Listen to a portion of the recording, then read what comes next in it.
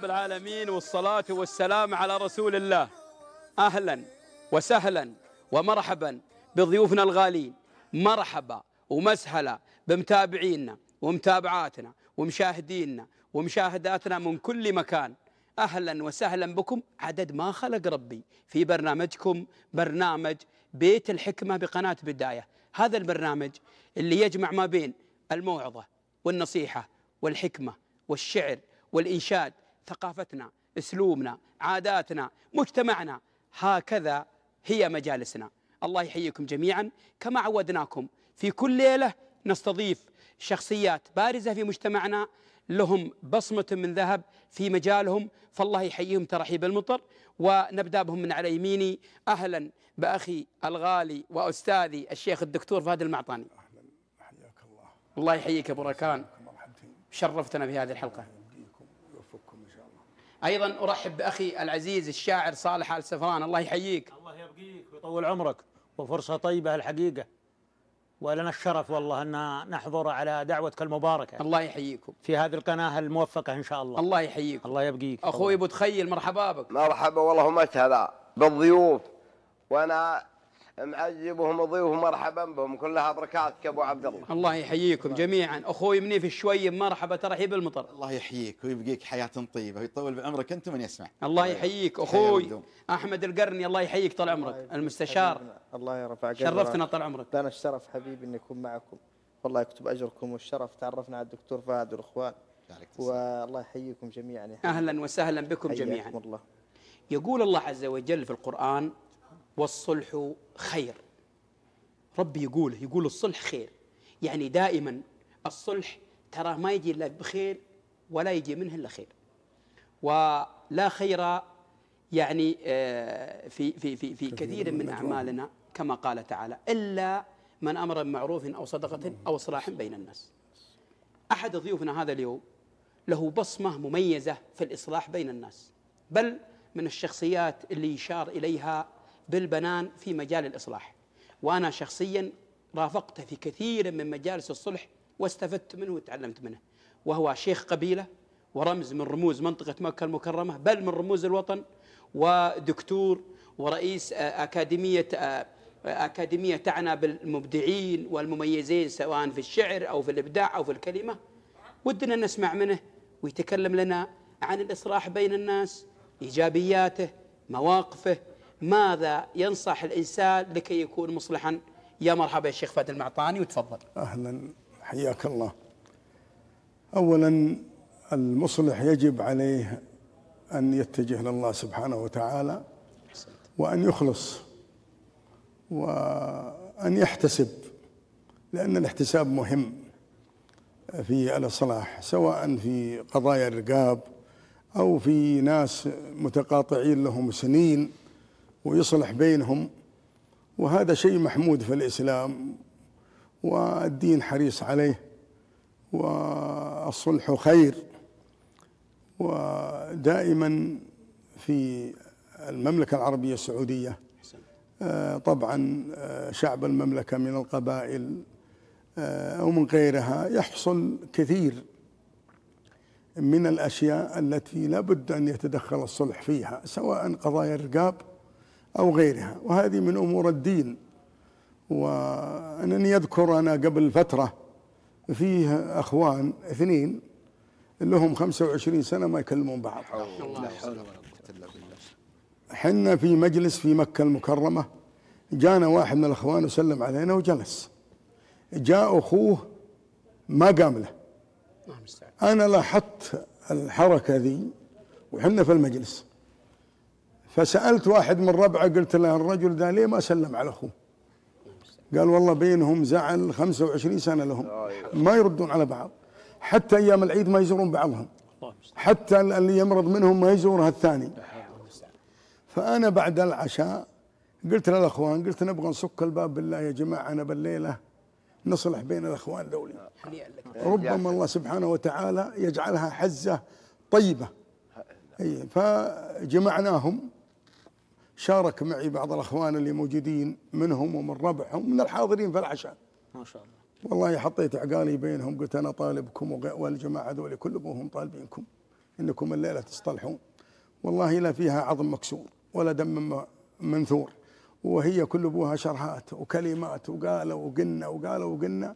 حرام عليكم. ما تحمل. ما تحمل. حرام عليكم 25 سنة أخوان. وحنا ندري أن بعض الناس إذا فقد أخوه يجي في المقبرة يلزم في في تراب ال- ال- القبر. يبكي عليه وتلقاه يبكي عليه. ويتندم. ساعة ندم. اي والله. لذلك الصلح أصلحناهم يوم الله يريد. الحمد لله. تعشينا عند واحد منهم الليلة الثانية والليلة اللي بعدها تعشينا عند الثاني. يا سلام. واصطلحوا الحمد جابوا عيالهم وسلموا على بعض. الشياب ذولي والله إنهم يسلمون على بعض يتبكون. المستعان يقولون إبليس إبليس الله يلعنه. الله لذلك يا جماعة الصلح خير. واليوم الحياة الناس تمر عليها مرور. هي دار ممر ما هي بدار مقر. أحسنت. والسنين تمضي والأيام ت- تروح والذي الشحناء والبغضاء هذه مشكلة كبيرة في المجتمع. فيها الفرقة فيها البعد فيها معصية لله آه، سبحانه وتعالى. لذلك أنا أقول المصلح يجب عليه أن اولا أن يتق اولا الله. أن يتقي الله. وثانيا أن يحتسب لوجه الله. أنت تدور أجر وتدور ثواب. حنا الشيخ مبارك يدري أنا لي أكثر من 40 سنة أسعى في قضايا الرقاب والله يسعني سبحانه وتعالى. والله إن حتى إذا دعيت في مدينة من المدن يقو- يقولون تسكن على حسابنا أقول لهم لا ابى اسكن على صدقت ليه؟ لأني أنا محتسب لوجه الله. الحمد لله فالاحتساب لوجه الله مهم للمصلح والنية الطيبة. يعني يدخل الإصلاح بنية طيبة ولا يتحيز. يجعل ال- ال- ال- الخصمين آه، في في ميزان واحد. ميزان عدالة. ميزان عدالة. نعم. لهذا الإصلاح. ونسأل الله سبحانه وتعالى أن يوفق كل المصلحين آمين. إلى أنهم ينهجون المنهج الصحيح في الإصلاح وهو مخافة الله وأيضا الإخلاص وأيضا الاحتساب لوجه الله. يا رب. أي نعم. يا يا رب سلام. والصلح خير كما يقال. يا رب. أبو راكان فيه بعض المصلحين أساء إلى الإصلاح ببعض التصرفات. ونجدهم في المجتمع. وش تقول لهم يا أبو راكان؟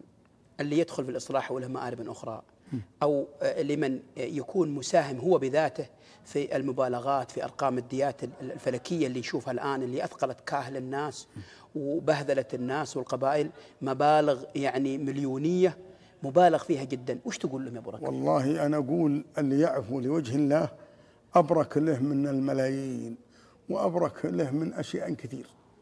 وحنا أنا وأنت وغيرنا من المصلحين دخلوا في قضايا واجد.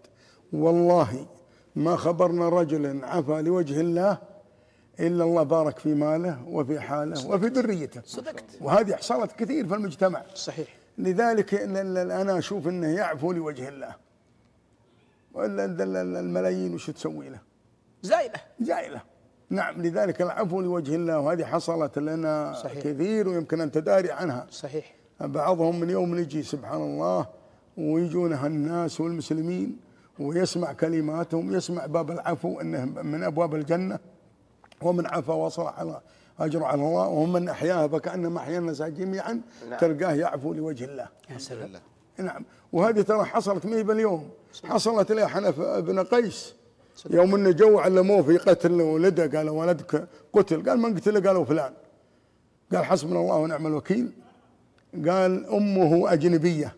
أم الولد أجنبية. أعطوها مياه من الإبل وأطلقوا سراحه فأطلقوه وعفى عنه هو ذابح. ولده. هو ذابح ولده صدق. وحنا شفنا يا جماعة شفنا أشياء كثير في المملكة الآن الشيخ سعد بن مجهز الذيابي عفى. عن عفى عن قاتل ولده لوجه. الله ونعم نعم الشهرانية يا أيوة، شيخ. الشهرانية موقفها بطولي. أي نعم عفت لوجه الله واستجارت يوم جارها وجورت جورته. ولدها. أي نعم والشمري في حايل صحيح. والحربي راح هو بالتنازل بنفسه وجاب الولد وخلاه يتعشى معه في عزاء ولده هذه يا جماعة هذا العرب والعفو عند المقدرة والعفو باب من أبواب الإصلاح أحسنت. وأيضا الذياب الشيخ ذياب بن شراع الذيابي عفى الوجه الله واليامي. برضه اللي. أيوة، كثير- الشيخ كثير- سفر كثير- الذيابي. برضه عفى ونعم. عن ذلك ونعم. واليامي وكثير من العافين عن أبنائهم في المملكة العربية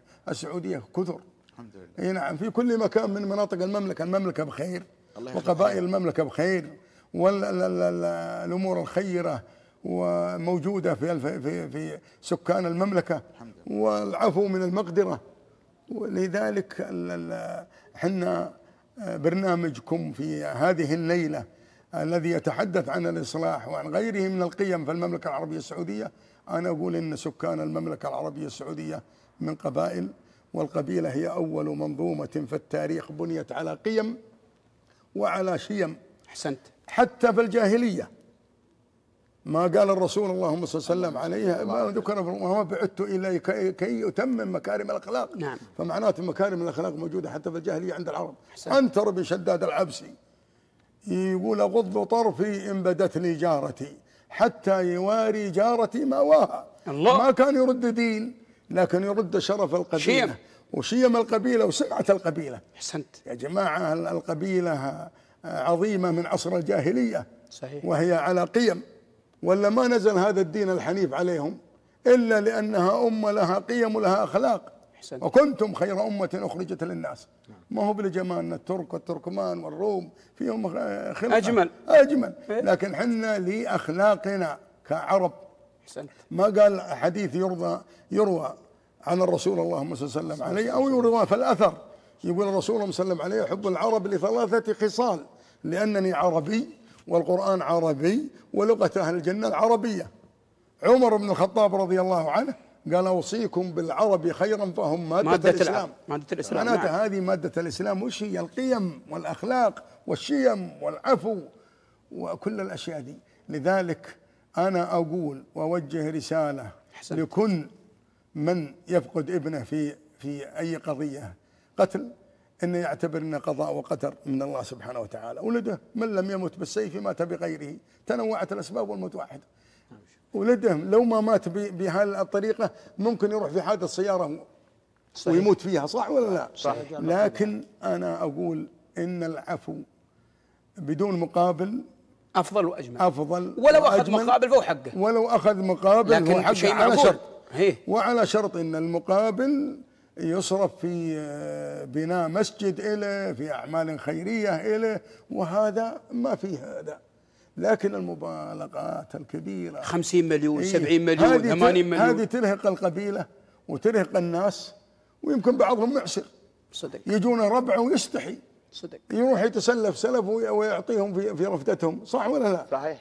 فنسأل الله سبحانه وتعالى. طيب يا ابو ركان آه هل كل قضايا الصلح اللي تجيكم تسعون فيها ولا هناك فلتر أو نقطة بعض القضايا ما تدخلون فيها؟ لا بعض القضايا ما ندخل فيها. مثل؟ اللي فيها أمور إخلاقية أو فيها اللي يدخل أو الشرف تخل الشرف. والمخدرات. هذه لا. إحنا نسأل عن السجين قبل. إيه. وهذه آه، يمكن كثير من الناس إيه. بعضهم اللي شاركوا معنا مثل ال- اللواء بن إيه. هشلول إيه، ونعم. وغيره ونعم. ودائما يفيدون عن ال- عن ال- السجين. التحقيق وعن عن القضية. السجين وعن اموره اللي فيها اخلاء الشرف ما ندخل فيها أو مخدرات أو مخدرات ندخل في قضايا الابتلاء الابتلاء إي نعم هذه الابتلاء الابتلاء هم عندهم هوشة مضاربة أشياء إنسان امتحن في نفسه هذه ندخل فيها. وباب الإصلاح باقي والعفو باقي إلى يوم القيامة. والعافون يعفو عنهم الله. وهي بس تذكير لكل لكثير. من الناس. نسأل الله سبحانه وتعالى الله ينفع بما أن تفعلون يا ركا. أن يوفق المصلح. آمين. وأن يوفق أيضا أهل آمين، آمين. طيب، آه، الطريق الخير. الموضوع والله طويل و- و- والحلقة ما- لكن لأنها هام.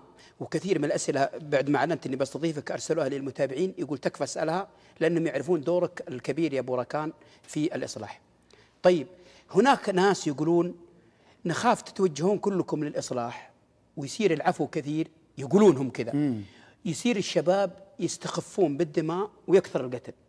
فما هو الضابط هنا يا أبو ركان؟ الضابط من الجانب الآخر الإعلام وشيوخ القبائل ينبهون على شبابهم إنهم حديث الرسول صلى الله عليه وسلم عليه واضح نعم. ليس الشديد بالسرعة إنما الشديد الذي يملك نفسه عند الغضب. نعم. كل اللي قتلوا ذول إحنا ندري وسألناهم هم في في في وضعهم كلهم يقولون إبليس وكل ابوه بعضهم يقولون غضب وزعلت وغضبت صحيح. لذلك يجب على الإنسان أن يخاف الله يخاف الله وأن يطيع الرسول صلى عليه في قول في حديثه ليس الش- الشديد بسرعة إنما الشديد الذي يملك على نفسه الغ- وأوصى الغضب. الصحابه قال لا تغضب لا لا تغضب لا تغضب. نعم لذلك هو الغضب يجب على الإنسان يجب على الشباب كل أبوهم بعدين يحضرون بعدين إيش يقدم على آه، قتل شخص يا- جماعة هذه شيء ذنب عظيم.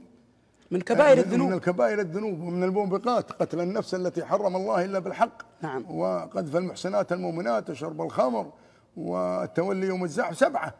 من الموبقات من ضمنها قتل النفس. نعم. نسأل الله العفو والعافية. نسأل الله سبحانه وتعالى أن يحمي وما. زال المرء أو المؤمن في فسحة من دينه ما لم يسفك دما حرام. فنحن نقول مثل ما نطالب المجتمع بالعفو وبالإصلاح ابتغاء ما عند الله أيضا نحذر الشباب والشيبان ونحذر الناس ونقول ترى ما كل من يقتل له شقيق ولا ابن سوف يعفو. لا تختر. وتراك في فسحة من دينك ما لم تسفك دما حرام. اتقوا الله في أنفسكم أيها الشباب. والله يا المسلم انه يرحم الحيوان في الشارع ما لا يلقى له لو حيوان في الشارع ما يدعس رحمة به. فما بالكم بإنسان خلق الله هذه الروح ومنحها الحياة سبحانه وتعالى تأتي أنت في لحظة بسيطة أو ربما عند سبب أو بدون سبب تحرم هذا الشخص من هذه الحياة وتقطع عليه حياته بسبب يمكن نجي نسأل بعض القضايا تذكرها يا أبو ركان. قال والله حدني في الشارع إلا قال لي واحد تذكرها يقول قال لي العين بحر. كلام يا أخواني يكتسب من كبائر الذنوب كما قلت يا شيخ. ويجرح والديه ويهم ويفقد مسلم ويحمل قبائله ويشغل الناس كلهم في هم الان يا أبو ركان ياك حضرنا في كثير من الجاهيات. نروح لأهل القاتل نلقاهم يبكون. نروح لأهل المقتول نلقاهم يبكون. نلقى أسرتين تقعد في هذا الهم عشر سنين عشرين سنة لين ينفذ القصاص. طيب المتسبب؟ المتسبب إنسان استخف بأمر دينه وتغلب الشيطان عليه وسفك دما حرام نسأل الله العفو والعافية. نرجع لك إن شاء الله يا أبو ركان. أخوي صالح بن سفران. الله يحييك. الله يبقيك. الشعراء لهم دور في الإصلاح. نعم. وش تقول لهم؟ والله طال عمرك أقول يا طويل العمر إن يجب على أي شاعر انه يؤدي رسالة. أحسنت. في الإصلاح في الدعوة إلى الله في العلوم الغانمة في المراجل في ال- العلوم الطيبة جميعا. إي نعم. الله يجعلنا وأنتم بالمصلحين. اللهم آمين. إيش تقول يا أبو عبد الرحمن؟ عندك قصة على الإصلاح. إيه عندي بس إنها على الأمور الخفايف أول شيء بالنسبة آه، إحنا ننصح جيلنا اليوم شبابنا بعدم أخذ السلاح. السكين وما السكين ولا سلاح. ممنوع أصلا نظاما. أنا أقول لك. الآن ممنوع أصلا. انتبهوا يا شباب ترى ممنوع حمل السلاح. حتى لو معك تصريح بعض الشباب ما يدرون ترى. إيه. هذه هذه هو المشكلة ترى. إيه. إحنا الحين لا زعل الواحد واللي في يده حصل شيء يضربها. حذا في حالة الغضب. ما كل واحد يقول غضبان؟ صحيح. صدقني لو ما مع هالاله هذه ومع الأداة هذه القاتلة ما قتل. صدق. إحنا جيلنا وشبابنا واللي قبلنا إحنا الجيل واللي قبلنا يتضاربون باعتبار يومي عند الحلال على الماء على كل شيء لكن قتل ما فيه. ما في سلاح. ما في قتل. طقت الامر كم بعصا ولا حذفت يتلازمون أو الموضوع. يقولون يا أبو عبد الرحمن حالة القتل نادرة. علم الهوشات تستمر. والنطاق يستمر. المشكلة اليوم كلها في السلاح. صدق. فالسلاح الأبيض هذا اللي يضرب بضربة وهي وهي المميتة والقاتلة. والناس ما عاد مثل الناس أول. ما يتحملون. ما يتحملون. نعم. الناس أجسامها ضعيفة أمورها ضعيفة وصحتها ضعيفة حتى لو ان الشاب ضعيف ما يتحمل شيء. يطقه بأي طقة تقتل. أي ضربة إنسان كبير عنده مرض شيء يقتل على طول. بعضهم انقتل بشيء ما ي... في الحقيقة انه إنه يعني الطبيعي إنه ما كان يقتل هذا الشيء هذا. لكن الله سبحانه وتعالى رد لنا إنه قتل في عندي موضوع على كلام ابو ابو راكان على عملية الإصلاح لكن الأمور الخفيفة. فالموضوع هذا رجل آه، خالد الله يرحمه اسمه زابن بن هوشان الشويب. رايح يدور له إبل ويوم يدور على ابله في البر ولا والله هناك العرب اللي عندهم سيارات واجد. يوم شاف السيارات الكثيرة قال هذول ما ألقاهم يعطوني خبر عن المنطقة. عشان يذكرون عن حلالي إيه. ويطب عليهم. يوم جاء الرياجيل يوم شافوه جاء ما فرحوا به راح المعزب قلطهم ما فرحوا بهالرياجيل يوم تفرقوا يوم قاموا راحوا يبرزون برا. يقعد واحد يتجهويه قال ولد أنا جيت أنا جيت في وقت ما هو مناسب. جيت في وقت ما هو مناسب. قال تشوف الرجل اللي جايين هذول؟ قال قال كلهم جايين اللي من الغربية وهم من الرياض ومن الأماكن منها هذا الرجال المعزب في قضية عندهم داخلية وجايين يطلبونه ومتمسك لها الحين ما أعطاهم وجايين يترجونه. عشان الموضوع ما يكبر والخلاف بسيط ولا أكثر خلاهم وخلص بغى يمشي. وقعد الرجال واحد يجهويه والرجل بارزين برا وبرا برا جا مراجعين جا مراجعين لا والله ما عندهم نية خلاص. وهو جالس لا دعي ولا جاء ولا له لزوم. أبد جاني يدور ناقه غير جاي يدور ناقته جاني يدور ناقه شوف شوف الرزق. أيوه. قال استشف الموضوع. من الرجال اللي قهويه استشفه الموضوع وشنو علمه علمه علمه. يوم طال عمرك هنا. قال أنتم عساكم خلصتم. في لزومكم اللي جيتوا له وبرزتكم عساها خلصت عساها. قالوا إن شاء الله انها تخلص ما بعد خلصت إلى حد الآن. هو ينحرف على المعزب قال يا فلان ما يعرفه من أول ما يعرف بس خصمه. إيه. ترى ربعك ما جو لك وعنوا لك الرياجيل من الرياض ومن الغربية ومن كل مكان هم في البر في ديارنا يم. وجو عني لك الا تقدير لك وقيمتك وأهميتك ولو ما أنت بغالي ما يجون لك. لكن جو يجبرون بخاطرك جو يأخذون بخاطرك جو يواسونك جو يطلبونك جو بكل المقاييس جو. ترى ما اجتمعوا لك الرياجيل وجونك الا تقدير لك. واحترام لك. يا سلام. فربعك ما دام جوعانين لك ومحترمينك ومقدرينك اللي راح راح. فعط ربعك.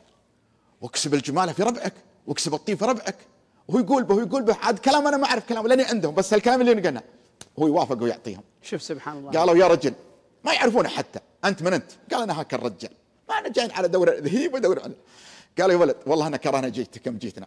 لأنك خربت علينا موضوع إحنا ما خلصنا. حتى ان طلعنا أنت ناجي برا ون- ونتكلم في مواضيع برا. ما نبيك تطلع عليه. لكن سبحان الله يوم الله اراد لك هذا طلعت عليه. هذا مبارك. هذا مبارك. هذا سبحان مبارك. الله توفيق. ترى يوم تقول ذا الحين يأخذون السلاح من القصص ال- الفكاهية واللي والله أنا تحزن الفكاهية. يقول أول ما أصدرت البنادق في السعودية يقول لهم بذاك العود أول مرة يشوف البندق. يقول لهم لها في ولده. شوف من أولي- الاولين حتى شجعان. شجعان. قال هب كثير اللي فيتك يا ولدي وشنهي قال ذي يا أبوك بندق. قالوا شو يسوون بها؟ قال هذه تذبح الرجال من بعيد. قبل يجيك تذبحه تطلق يا أبوي بها وتذبحه. يقول هو يقوم يدق صدره. ويقوم يدق صدره ويقوم يبكي قال علامك يا أبوي. قال لا والله اللي ذبحوا الرجيل. راح الرجيل صيد رخو راح الرجيل صيد رخو ذا الحين السلاح يا إخواني ترى ما هو صادق. إنك تمسك السلاح وتطلق النار. لو يمسكه ايا كان.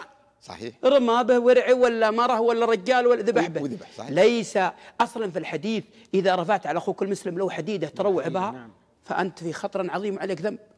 الين تضحى؟ أسأل الله يجعلنا وإياكم من الحليمين. ويكفينا وأنتم شر مصائب الدنيا ويجعلنا من المصلحين. ولا يبتلينا ولا. هبي هالشايب هذه ابتلاء. قال راح والرجيل- شجاع قال راح قال راح والضحية. الرجيل صيد رخوص وصادق من اول من أول يو- ال- ال- الرجيل أبو الرجيل تلازمه الزمن. هم يعتمدون على الله ثم على عضلاته وعلى شجاعته. لكن ذا الحين يترصد له. هم يرميه ولا يغدره بعد نسأل الله العفو والعافية. الشيخ أحمد. مجالك ال ال ال الإرشاد الأسري وحنا لعلنا تكلمنا عن الإصلاح في القضايا الكبيرة الجنائية والمضاربات والقتل. أيضا ودنا نتكلم لو قليلا عن جانب الإصلاح الأسري ما بين هذه العلاقة السامية ال- الكبيرة وهي الزوج والزوجة اللي تراها من نعم الله علينا يا إخواني أن جعلنا نساء وحللهم لنا وجعلنا هذه الأسر اللي تكون من هذا المجتمع. تفضل يا أستاذ أحمد. طيب بسم الله الرحمن الرحيم والصلاة والسلام على أشرف الأنبياء والمرسلين سيدنا محمد وعلى آله وصحبه وسلم تسليما كثيرا. أما بعد حقيقة قالت العرب لا عطر بعد عروس والدكتور ما شاء الله يعني له باع كبير وقديم. الدكتور جزاه الله خير في موضوع الإصلاح وإحنا والله يعني بنحاول نتناول الموضوع من جهة أخرى كما سأل الأستاذ مبارك جزاه الله خير عن موضوع الإصلاح.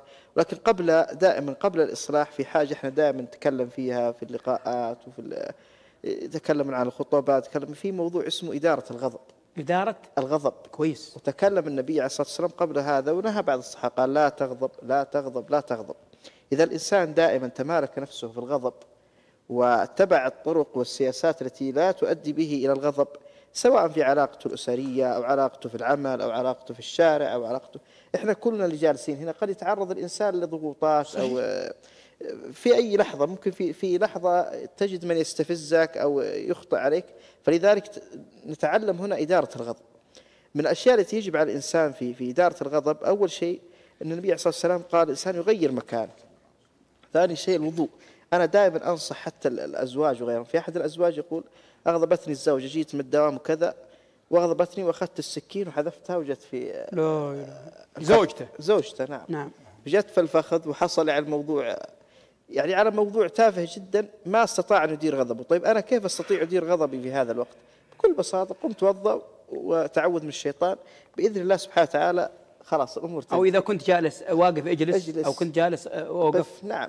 ودائما نتعلم في إدارة الغضب حتى الكلمة السيئة. لما يلفظها لك الشخص ترى يعني ما راح تأثر فيك كثيرا، أغلب من ارتكب الجرائم أو القتل أو وصلت إلى المحاكم أو وصل ما شابه ذلك ترى كلها يقول والله عشر دقائق، أنا بس كان أقل قصدي أقل خمس دقائق.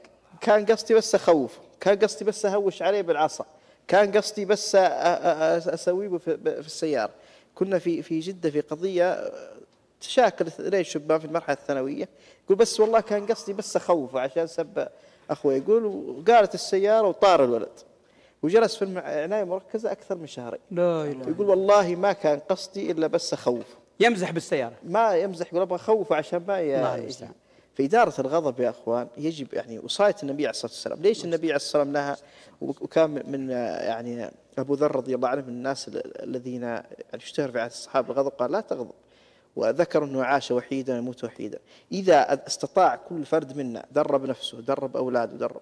حتى أكرمكم الله لو مشينا في الشارع ولفيت على شخص وبصق عليك لا ترد عليه. سو كذا على رأسك جزاك الله خير. تعود والله لن تأثر فيك هذه البصقة. لكن لو نزلت وهو بصق عليك وانت بصقت عليه واخذت عصا واخذ عصا والله لا يمر يجعل الموقف ذا يمر علينا خل بصقه الله يكفينا عليه والله ما أدري. نمسك أعصابنا ولا لكن هي بعض المواقف. هو طبعا الموضوع تدريبي في في علاج في إدارة السلوك حتى في الأمور الأسرية. ذكرت. أغلب المشاكل الأسرية تقع إن ما في إدارة للغضب. صحيح. لا. الزوج تجده يغضب بسرعة والمرأة تغضب سريعا. ونجد زوجة ضربت زوجها قالت والله أنا زعلت وطلقها عشان كذا والأولاد فعل في في بعض الآباء حتى يضرب ابنه حتى يدخل المستشفى ويفقد أحد حواسه وكذا. في أشياء موجودة لكن الحمد لله قليلة يعني في في مجتمعنا السعودي فضل من الله سبحانه وتعالى. فقبل أن نصل إلى درجة الإصلاح ونرهق زي ما ذكر الشيخ الدكتور فهد الله يحفظه ترهق الناس والمجتمع. إذا كل واحد منا استطاع أن يدير غضبه ما وصلنا والله. العظيم إن المشاكل سوف تقل. الاساس رجعنا إلى الغضب إلى حديث لا تغضب لا لا تغضب. تغضب لا تغضب. ولن يضرك كلام الناس. لا تتوقع أن إنسان تلفظ عليك لفظة بذيئة أو زوجتك أو زوجك أو ابنك إلا وصبرت واحتسبت ولا تناقش في تلك اللحظة. اترك ال- الأمور تمشي. والله أني جربت يعني أنا ما أتحدث عن نفسي. يمكن كنا أيام ال- الشباب وكذا الواحد يعني في طيش الشباب. لكن بعدين وجد أن هذا الكلام ما يؤثر. دعه يعني دع الجاهل يتحدث وأتركه. وإذا كان لك حق تأخذه إما عن طريق ال- الشرطة أو النيابة العامة أو عن طريق شيوخ القبائل. هذا الأمر إذا كان بسيط يستطيع الإنسان احتواءه لكن إذا صار الشق على ما قال أكبر من رقعة وصل للدم وصل للقتل وصل للقذف وصل مصيبة. للأعراض وصل للتكسير بعضهم يحرق مكان يفعل كذا ما استطاع أن يدير غضب فلذلك دائما الإنسان يبدأ في تدريب نفسه وإحنا نستقبل استشارات ونعالج سلوكيا من اداره الغضب في في في مثل هذا الأمر. استطاع الله- الإنسان اداره الله. غضبه بأمر الله سبحانه وتعالى أن تتلاشى هذه الأمور. أنا أسأل الله أن يجعلنا وإياكم من, من الحليمين ولا يجعلنا من اللي يغضبون. ترى ترى ترى الحلم يا إخواني بالتحلم. صح. ترى ما أنا ب- ما في رجال تلقى خلق الله كذا ما يزعل. لكن بعض الرجال شرواكم يعتبر نفسه هذه مثل الفرس الأصيلة وهو مثل الفارس الماهر. ماسك الجامعة في يده وكل ما نقدها شد الجامعة. صحيح. لكن بعض الرجال مخليها. طيب إيش رأيكم في رجال إن عزمة في الحلقة يحضر معنا؟ وهو ماكل تسبدي من متابعين الحلقات أنتم هم يجي معنا هم يرقد. وش رأيكم فيه؟ هذا هذا أنا أنا- أقدر أمسك الغضب عنه. إيش رأيك يا أبو ركب؟ استاذك في كلام من قبل النوم حسنا. بش من بارك بن بختان لكلبي وبش مرزوق العاطفي ونعم يا خدمني بالفعل وأنا خدمه. بالكلام.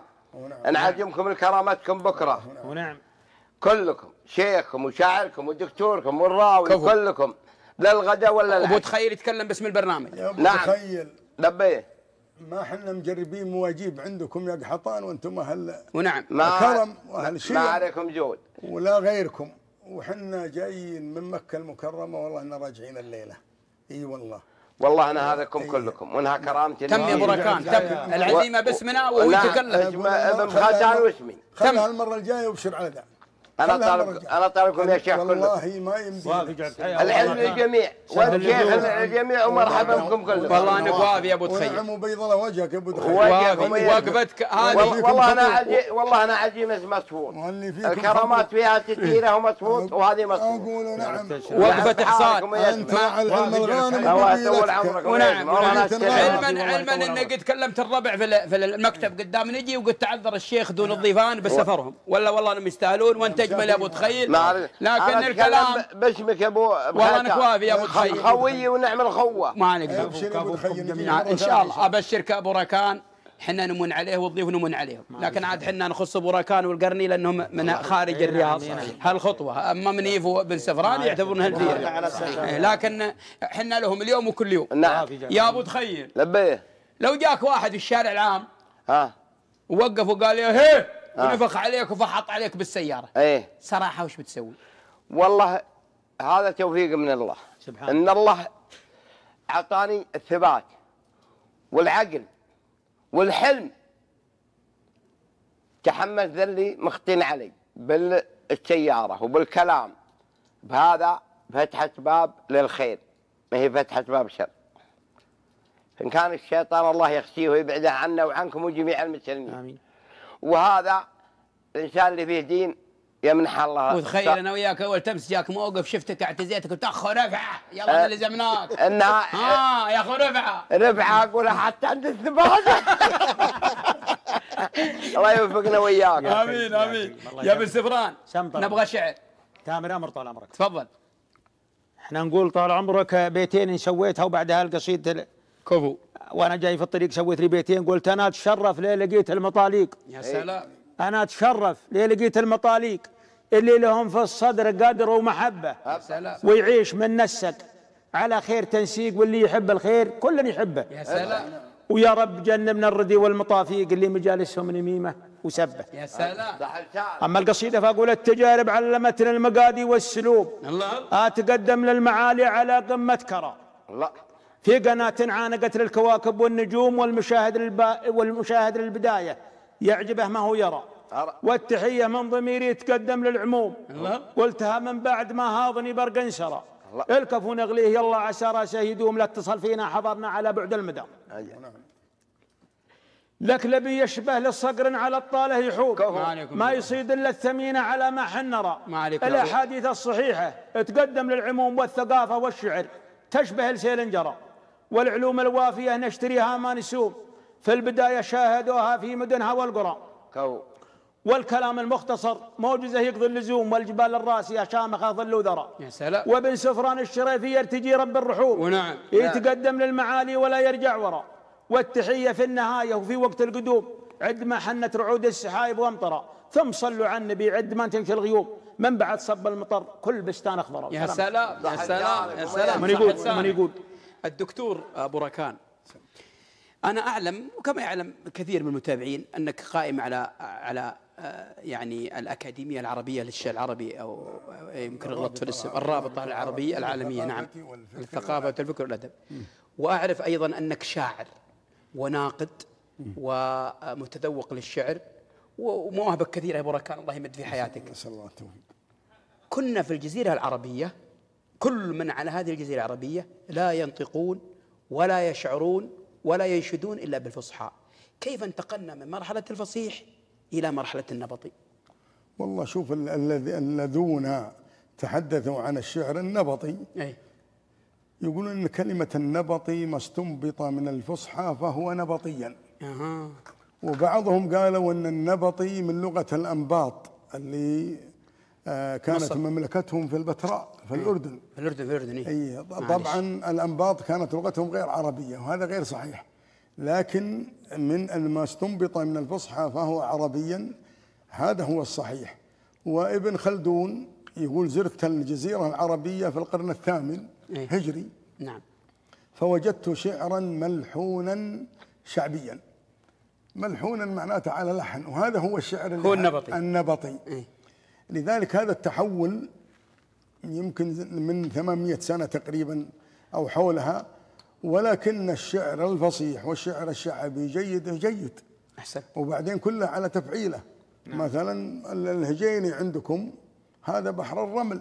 نعم. هجيني في نجد. في نجد صحيح. إي لو جبت على ذا فاعلات فاعلات فاعلاتي فاعلات فاعلات فاعلاتي هذا الهجين. زين ليتني ما جيت مع سو قال مليحي مع قصورين جعل ما هيب معمورة. يا سلام. ولا, ولا زبن بن عمير. إيه.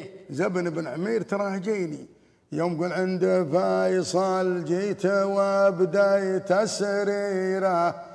وانت فاض مثل العقاب من يا الحساسي سلام. مدي من اللطمة منها خطيرة. عشو. تظهر اللي كان في رأس عماسي. سلام. فيصل الليل العروبة فيها خيرة. معدن الفضة ما هو معدن حاسي. يا سلام. حياتك مسند وتخيل. مسندي رجوى حكام الجزيرة غيرهم ما في وراها للفلاسي عند فيصل.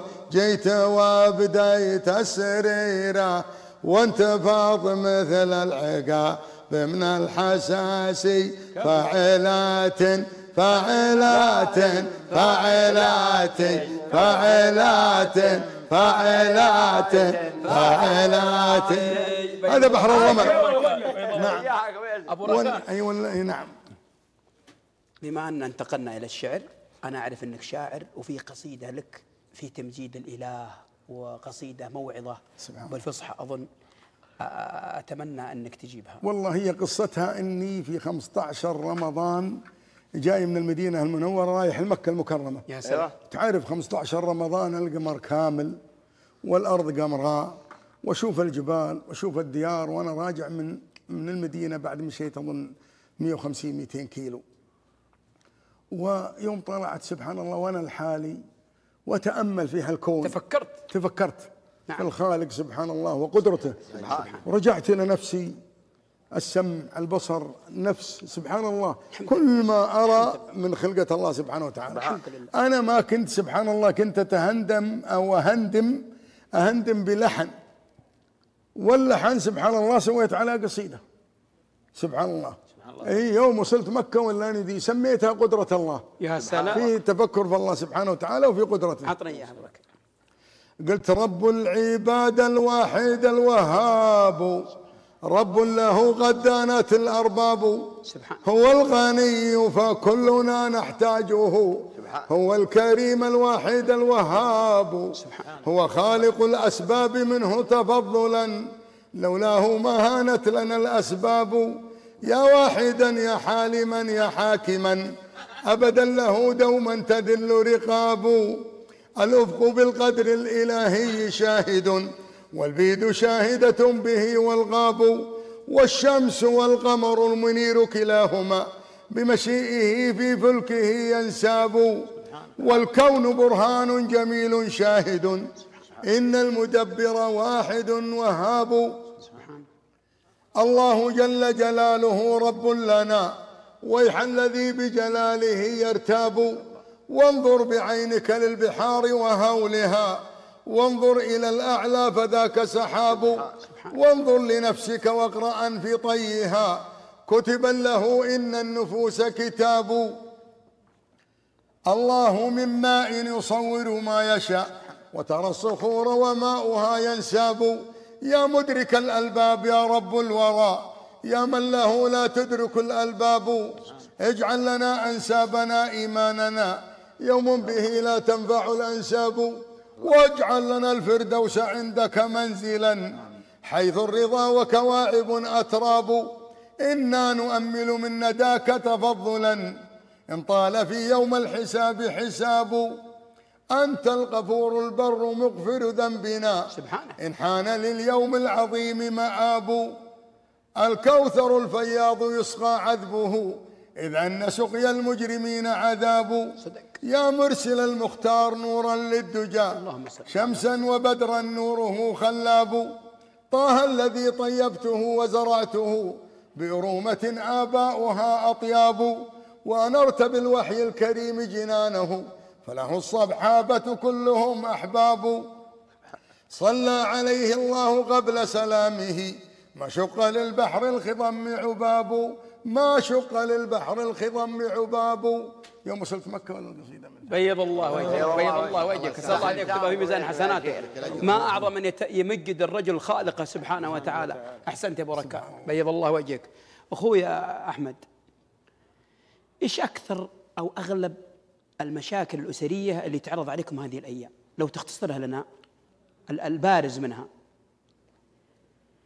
والله يا شيخ مبارك ولا يهونون الأخوان الحاضرين. أغلب المشاكل الآن موجودة هو عدم القناعة والرضا بما كتب الله للإنسان في حياته يشتغل الأسرية. ميكروفون يا أبو عبد الله؟ نعم. يشتغل ميكروفون الدكتور. إيه إيه إيه. ليه ما تسمع؟ ما أسمع. طيب تبي تقرب؟ لا. يا رجال الكلام ذا على المشاكل الاسريه وأنتم متخيل متخيل قدها قانع ما عاد بقيت لك شيء. أبي استفيد أنا أنا ليه باقي لك نية؟ أنت وقعتك ما عاد تقول يا سلمى كم النية خلي الدكتور يرفع صوته. الله صوت قاز إن شاء الله أنا بعد ال- هذا يغير النية بإذن الله. لا يا رجل ما هو ما هو بذاب الريح في كل علم بشرب إلا الزواج. ما هو بذاب الريح الله يطول عمرك لا إن شاء الله لا يتحرك بإذن الله. اسلم طيب. فالقناعة عدم القناعة. عدم القناعة بما يكون بين الزوجين في الحياة الأسرية. إن كانت من ناحية مادية أو من ناحية الزوج أو من ناحية الزوجة. ودائما الآن يعني نقولها صراحة خلينا نتكلم بصراحة بدون على قولهم غطاء الآن وسائل التواصل الاجتماعي لها أثر كبير جدا صدق. جدا جدا جدا جدا جدا في أنه تخلي الزوج أو الزوجة ينظرون إلى ما هو موجود خلف الكواليس في هذه الوسائل وسائل التواصل الاجتماعي. وأصبحت الزوجة تتمنى هذا العالم الخيالي وأصبح الزوج يتمنى هذا العالم الخيالي. اللي أصلا ما هو موجود ترى. أصلا ما هو موجود نعم. طبعا. وأغلب ال- حتى المشاهير وأنا وأنا جلست مع مشاهير ونعلم ما خلف الكواليس. والله العظيم إنهم يعانون. كل ما ما يبث أصلا داخل هذه من الحياة البرزخية وإنهم كذا وإنهم سعداء وإنهم مبسوطين وإن ما عندهم تصنع. مشاكل. تصنع طبعا. نعم نعم. كل إنسان يبرز خلف ال- الكاميرا غير عن ما يبرز صحيح. عندهم مشاكل أسرية عندهم مشاكل مادية عندهم هذه الأشياء موجودة. الآن لما بعض الزوجات يكلموني ونجلس بالساعات ونتخاطب أنا تعبانة أنا ماني مرتاحة أنا كذا كذا نعرف مباشرة إن ال- هذه الضغوطات اللي هي تصطنعها نفسها هي تريد أن تعيش هذه الحياة التي تظن أنها لو خرجت عن هذا الزوج أنها سوف تجد حياة أفضل. لما يعني تطاوع نفسها وهواها والشيطان وتخرج تجد الحياة تماما مختلفة.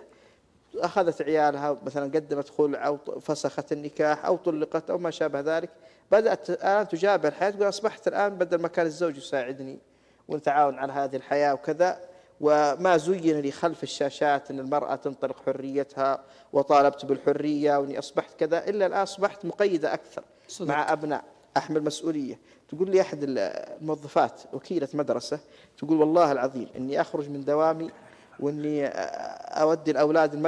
المستشفى وأجي الغاز خلص أجيب السباك أجيب الكهرباء يقول كل هذا بما زين لي من رفيقات ورفقاء السوء في وسائل التواصل الاجتماعي وغيرها. والحرية المزعومة. إنك أنت إذا تركتي بيتك تركتي أطفال آه، زوجك إنك أنت بتعيشين بحرية أكثر.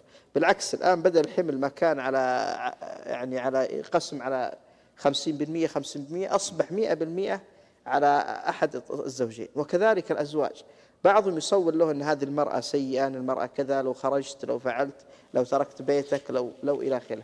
لذلك دائما في حديث النبي عليه الصلاة والسلام إذا كره المسلم من زوجته خلق أعجبه خلق آخر. وكذلك المرأة.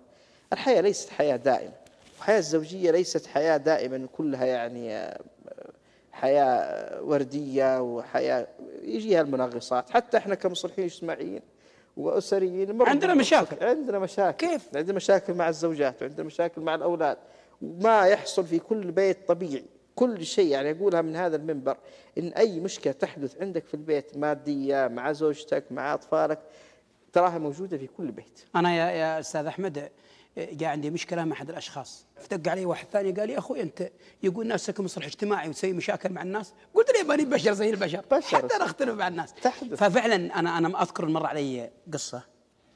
وأيضا ان ان, إن فعلا أن القناعة هي كنز لا يفنى. أنت أيتها الزوجة إذا قسم الله لك هذا الزوج وأنت ايها الزوج إذا قسم الله لك هذا الزوجة هذا ما كتب الله لك ارض بالواقع. نعم. وبعدين أكثر المشاكل أشوفها أنا من الوعود ال- ال- اللي تطلق قبل الزواج. والله أنا مر علي قضيتين سبب المشاكل يوم تملك هو إياها قاعد يتكلمون. هم قاعد يرسم لها حياة من ذهب. أنا بسوي بتس وأنا بحط لتس وأنا بسفر وأنا بقول بتس وأنا وأنا تراني مزعل وأنا تراني على كيف المرأة وأنا تراني عسل وأنا تراني وهي بعد تمدح نفسها تحط ما. إذا تزوجوا أنصدموا بالواقع المر. الكلام ذا ما حصل منه شيء فدخلوا في خلاف. أسأل الله أن يجعل اسرنا مطمئنة وبيوتنا مطمئنة. معنا في هذه القناة متسابقين يتسابقون في برنامج الآن اسمه آه، آه، ماراثون. يصفى منهم ناس للبرنامج الكبير المعروف زد رصيدك. وكل اللي يشارك منا من م- م- مجموعة منهم أربعة خمسة يرحبون بكم كضيوف ويقومون بضيافتكم معنا. وأيضا يستفيدون من من من الفوائد اللي اللي اللي تجيبونها في هذه الحلقة ويشاركون بعض المشاركات. فأستأذنكم أن نستقبلهم أو يستقبلونكم. تفضلوا وارحبوا يا رجال كم السلام؟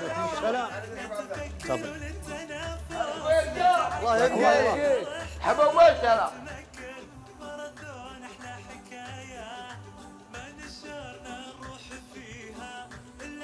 أحسنت يا أبو تخيل والله قبيل سنك رقدت ها؟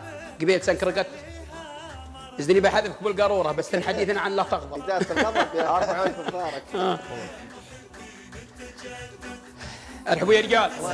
حبوا يا رجال. كم السلام؟ هذا ابنائكم الأبطال مختارين على مستوى المملكة. في فرز ولجان عرف كل واحد يعرف عن نفسه. شوية. ابن البيت.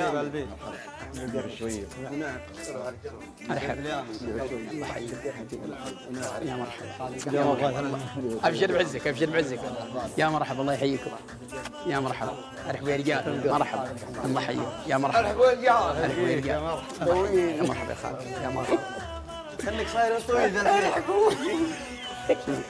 حبوا وسلام ارحبوا وارحبوا صبكم قهوه ولا شاي بك الشيخ يلا حي يا ابن البيت تعال عندي هنا. عشانك شرطت علي وأنا النقاط بعطيك إياها بس بعد ما يا مرحبا. كيف حالكم يا الربع؟ يلا حيهم وشلونكم؟ أنتم طيبين؟ كيف حالكم؟ الله يحييكم. أول بادئ ذي بدء آه، يعتبرون الشباب ذولا مضيفين معي. وأنتم ضيفان.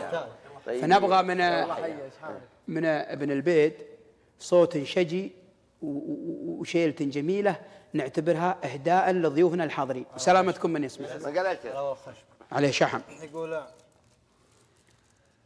هشاكي على دنياك شاب عني من دنياي. يا سلام يا سلام. لا تشكي علي فيني هموم تكفيني دخيل الثنين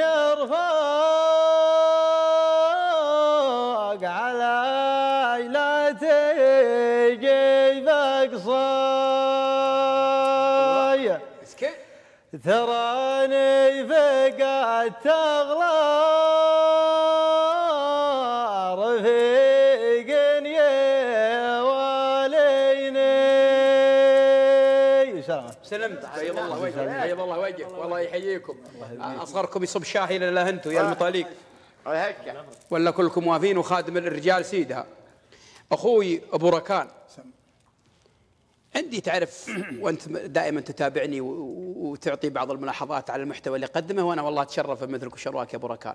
اعطي الشيخ واعطي الضيوف. ومن ضمن المحتوى اللي كذا مقطع قد يعني سويته خصيت بفئة غالية في مجتمعنا. فئة عليهم مسؤولية وعليهم حقوق ولهم حقوق. وهم مكون أساسي في في في التكوين الاجتماعي والقبلي ما يستهان به.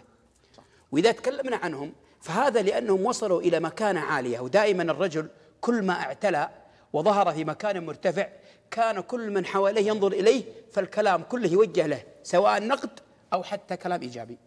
وهذه الفئة هم شيوخ القبائل. الله فئة نعترف بها وناس ورثوا المجد وورثوا الشيخة وقدموهم قبائلهم لكي يكونون صفوة في المجتمع. سؤالي لك يا ركان كشيخ قبيلة اولا والشيخ لك وزنك وكرجل آه، يربط كثيرا من ال- ال- الصداقات مع شيوخ القبائل. فأبغاك تجاوبني بكل صراحة. ما هو المطلوب من شيخ القبيلة لكي يكون شيخ؟ شيخ بمعنى الكلمة. وما هي الواجبات التي عليه؟ وما هي الواجبات التي يستحقها شيخ القبيلة من قبائله؟ أنا أدري إن السؤال صعب لكن أنت كفول له والله كلمة شيخ أساسا قالت العرب لفظا من كبر سنه وطال عمره يسمى شيخا. أحسنت. وقالت العرب كلمة شيخ من إمام المسجد ورجل الدين يسمى شيخا. نعم.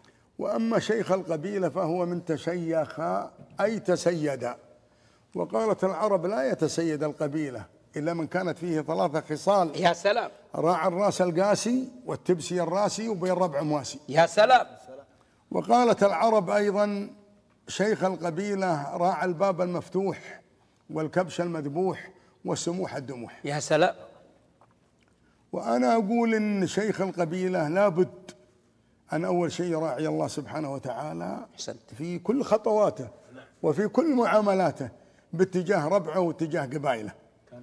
وثانيا يراعي أك- أبعد واحد في القبيلة كأقرب واحد إله نسب ولا هذه كلهم سواسية يكون العدل. أساس مشيخة القبيلة يكون عادل مع الكبير مع الصغير. ثالثا إنه يسعى إلى رقية قبيلته. أبناء القبيلة يحتضنهم يا سلام. ينهي مشاكلهم يا سلام. يساعدهم. في وصولهم إلى علم وإلى درجات علمية. أيضا يوجههم البعد عن الأشياء السيئة وينهجون منهج الإسلام ومنهج العروبة ومنهج القيم والأخلاق. يعتبر معلم بين قبيلته. وأيضا يساعد آه، ربعه وقبيلته في كثير من الخدمات لقراهم لأنهم محتاجين لها طبعا الدولة رعاها الله. شيخ القبيلة آه، همزة وصل ما بين الدولة والقيادة والقبيلة. وبين القبيلة. أحسنت. ويجب أن يكون شيخ القبيلة ينقل صورة عن قبيلته أمام الدولة رعاها الله وأمام المسؤولين وأن يقدم طلباتهم. آه، حنا في في في من زمن الملك عبد العزيز الله يرحمه. وش كنا قبل الملك عبد العزيز؟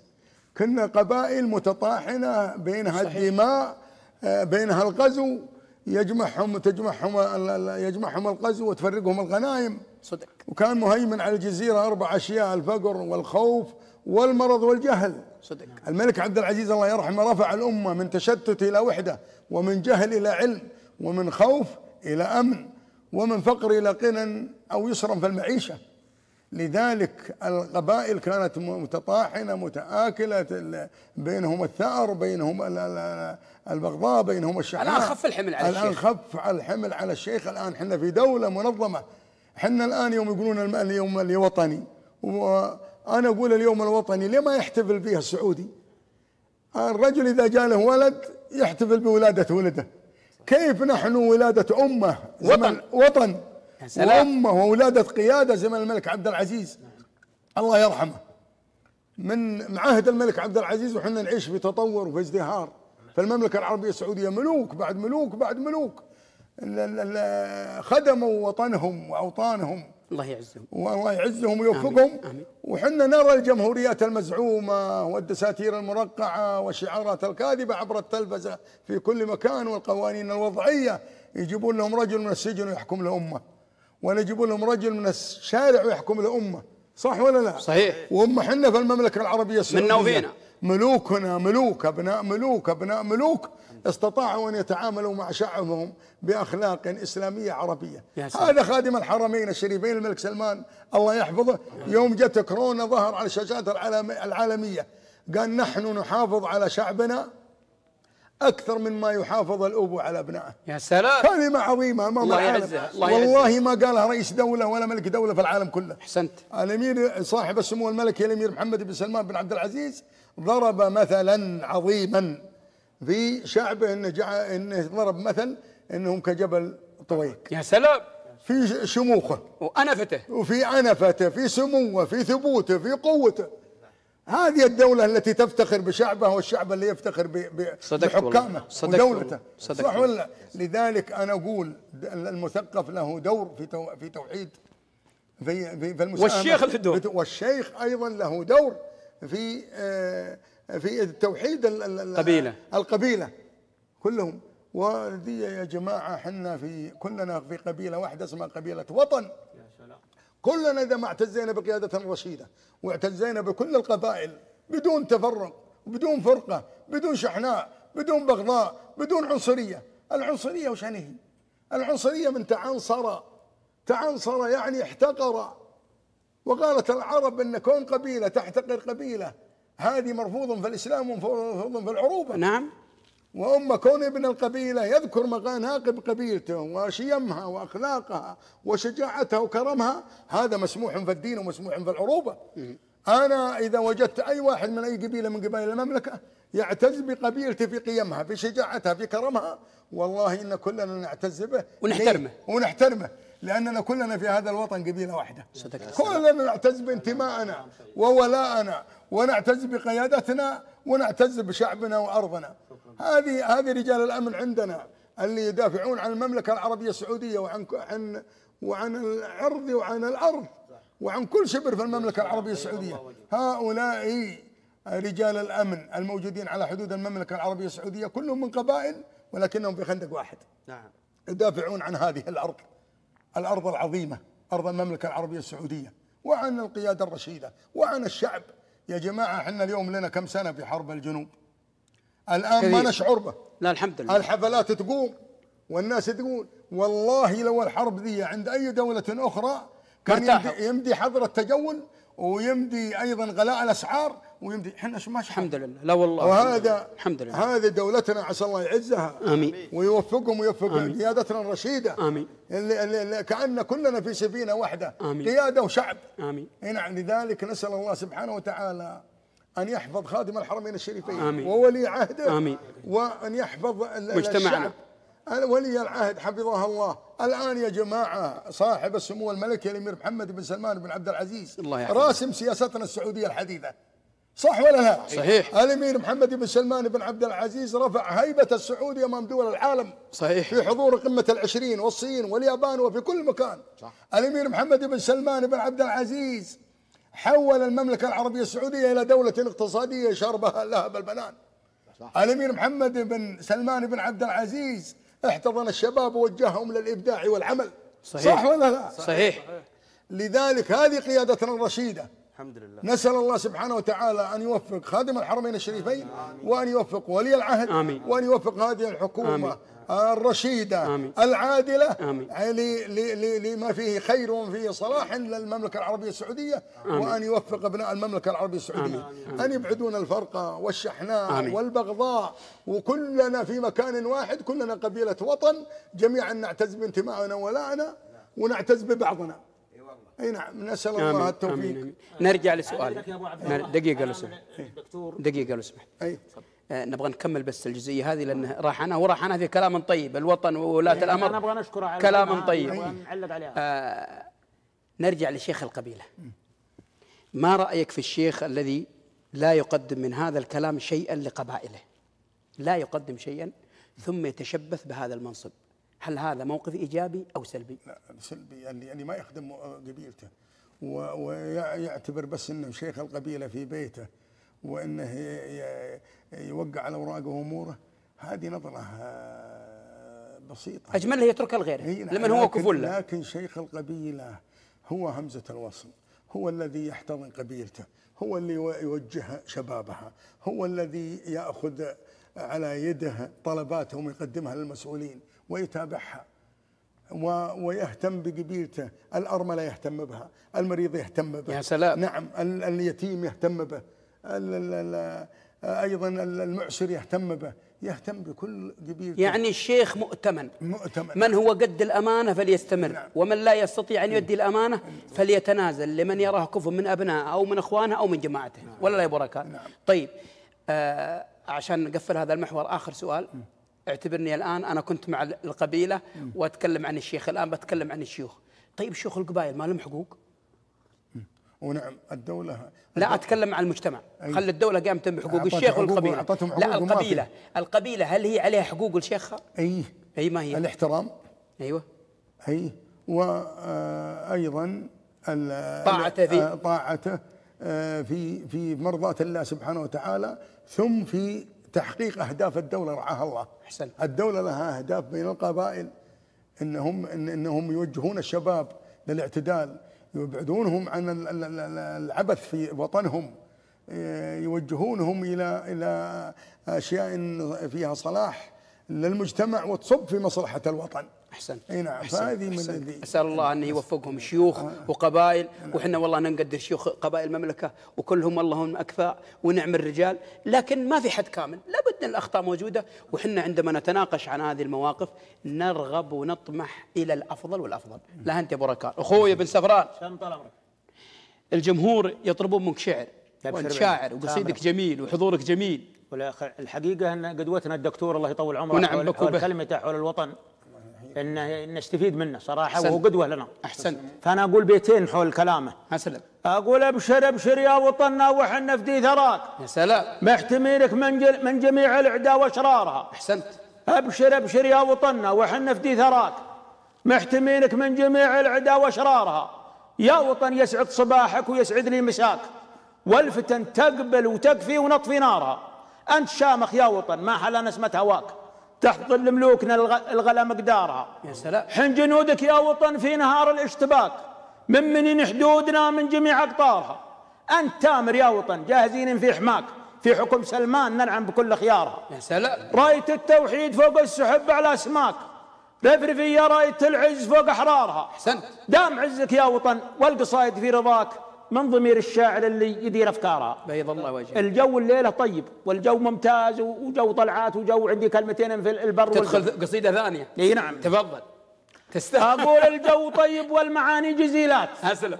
الجو طيب والمعاني جزيلات وأنا على بدع الجزيلات ضاري. يا سلام. يا هادسي هات البيوت الجديدات. عجل علي وهاتها باختصاري واجدي على خوة رجال المهمات.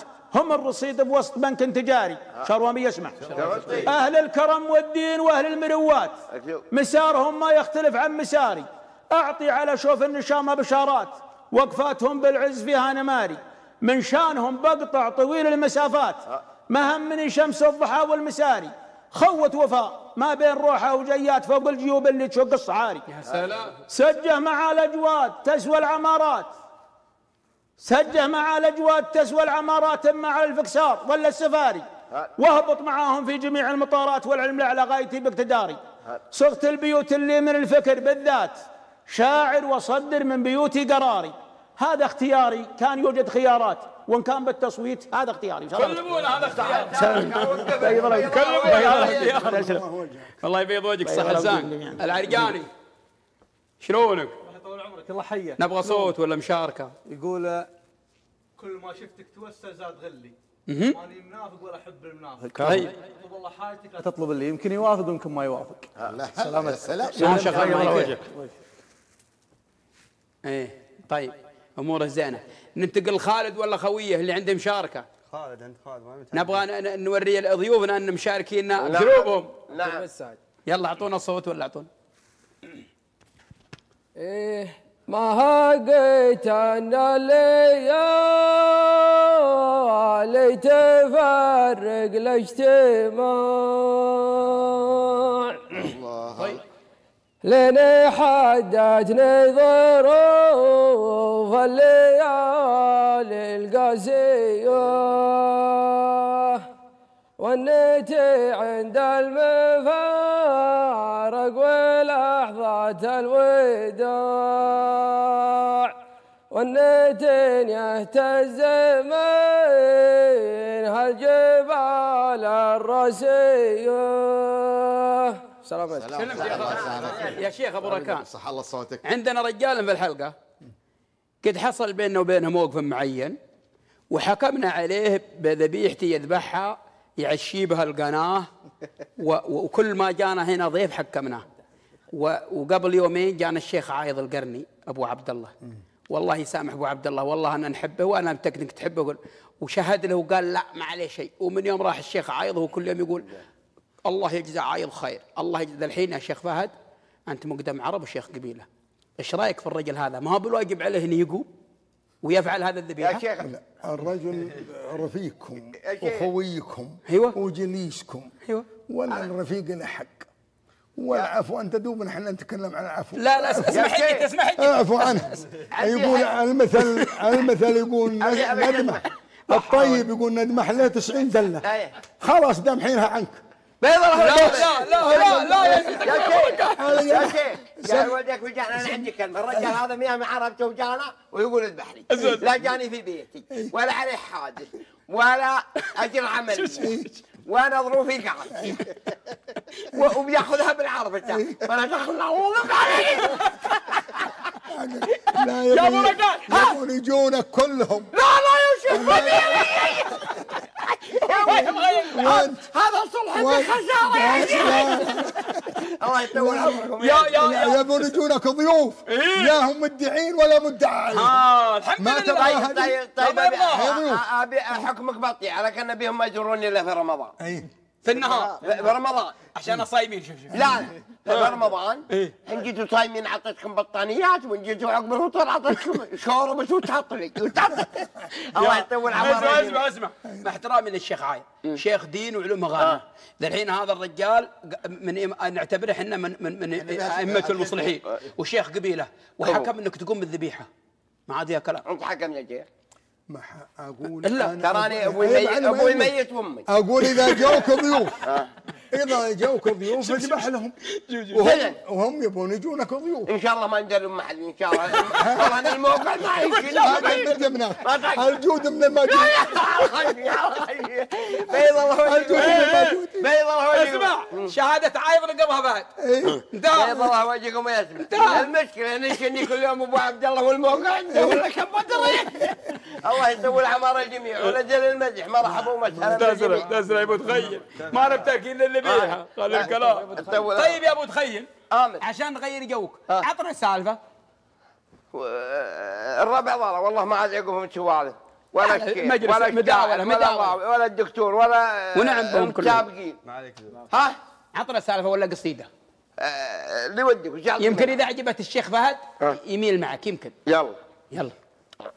ودي أوقف. تفضل.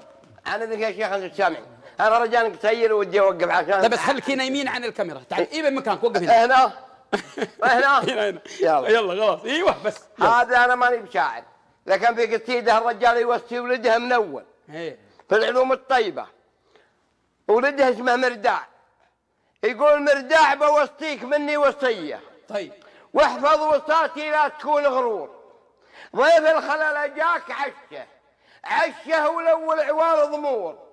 بهشاشه ثم بشاشه ثم قفها الميسور وقصيرة خلال خطوة واحد هدور لقبل له مترطم ولا بوجهك نور وحاثور من شبشاب حجة. أولها كذب وآخرها يذرعون وهي أطول من ذلك. والسلام عليكم ورحمة الله وبركاته. هذه ما تستاهل حتى فيها في نص نفر مندي. ها؟ خل عاد ذبيحة. ليه؟ كلام الشيخ. اجلس. عندي واحدة ثانية لا ما خلاص. الذبيحه فيك فيك في واحدة ثانية في القهوة. يلا تفضل. ارجع يبيع أحد يقول أيوه. خليك. يقول يا ما حرى شبانها عقب الانعاس شبانها واهل الشقم التهيني. إيه. ولا يقلط عندها كل بعبات يحط فوده عندها لا تشيني. بريد تشكي على كل حماس. والنحر قد تشكي على الطيبين. يا شرواكم والسلام عليكم. وهذا ما يجدني الوقت الحالي. شكرا. ما عجبتنا بالحقيقة. هاجل استاذنك وبرجع. طول عمار الله يوفقك يا أبو وياكم. إيش؟ أبو عبد الرحمن سم. نبغى قصة وقصيدة. قصة وقصيدة. أولا كنت بع- على كلام ال- القرني إيه. ال- ال- المستشار هو اللي قلت عنه إيه، نعم. أو نعم فكان عن كلام هي طبعا فكاهة إيه. يعني في تفضل. في الغضب وبالغضب ما هم قالوا الحين في الحديث الرسول صلى الله عليه وسلم لا كان واقف قالوا اجلس نعم. ولا صار جا قالوا ولا صار جالس قالوا انسدح نعم. هذه مقول صح يقول واحد إحنا طبقنا اثنين تشادوا في المجلس إيه بينهم خلاف ومو كلهم جماعة وربوع بالعظم وشيء بس إنه يقول يسولف عليه واحد جربناها إيه. يقول واحد جربناها يقول تشادوا الاثنين بالغضب. كل الواحد زي طلعت أوداجه من من من شدة الغضب بينهم. اولهم تواقفهم يقول مسكناهم إحنا موجودين. يقول مسكناهم وقلنا السنة السنة السنة السنة سنة محمد سنة محمد اجلس اجلس اجلس اجلس, إذا. واقف اجلس. أيوه أجلس. هم واقفين. إيه. قال إحنا نجلسهم. قالوا يجلسون. قال لي والله ما ما ما قل قوم. ما ما- لا. ما الغضب قال والله ما زال فيهم غضب. ما زال فيهم.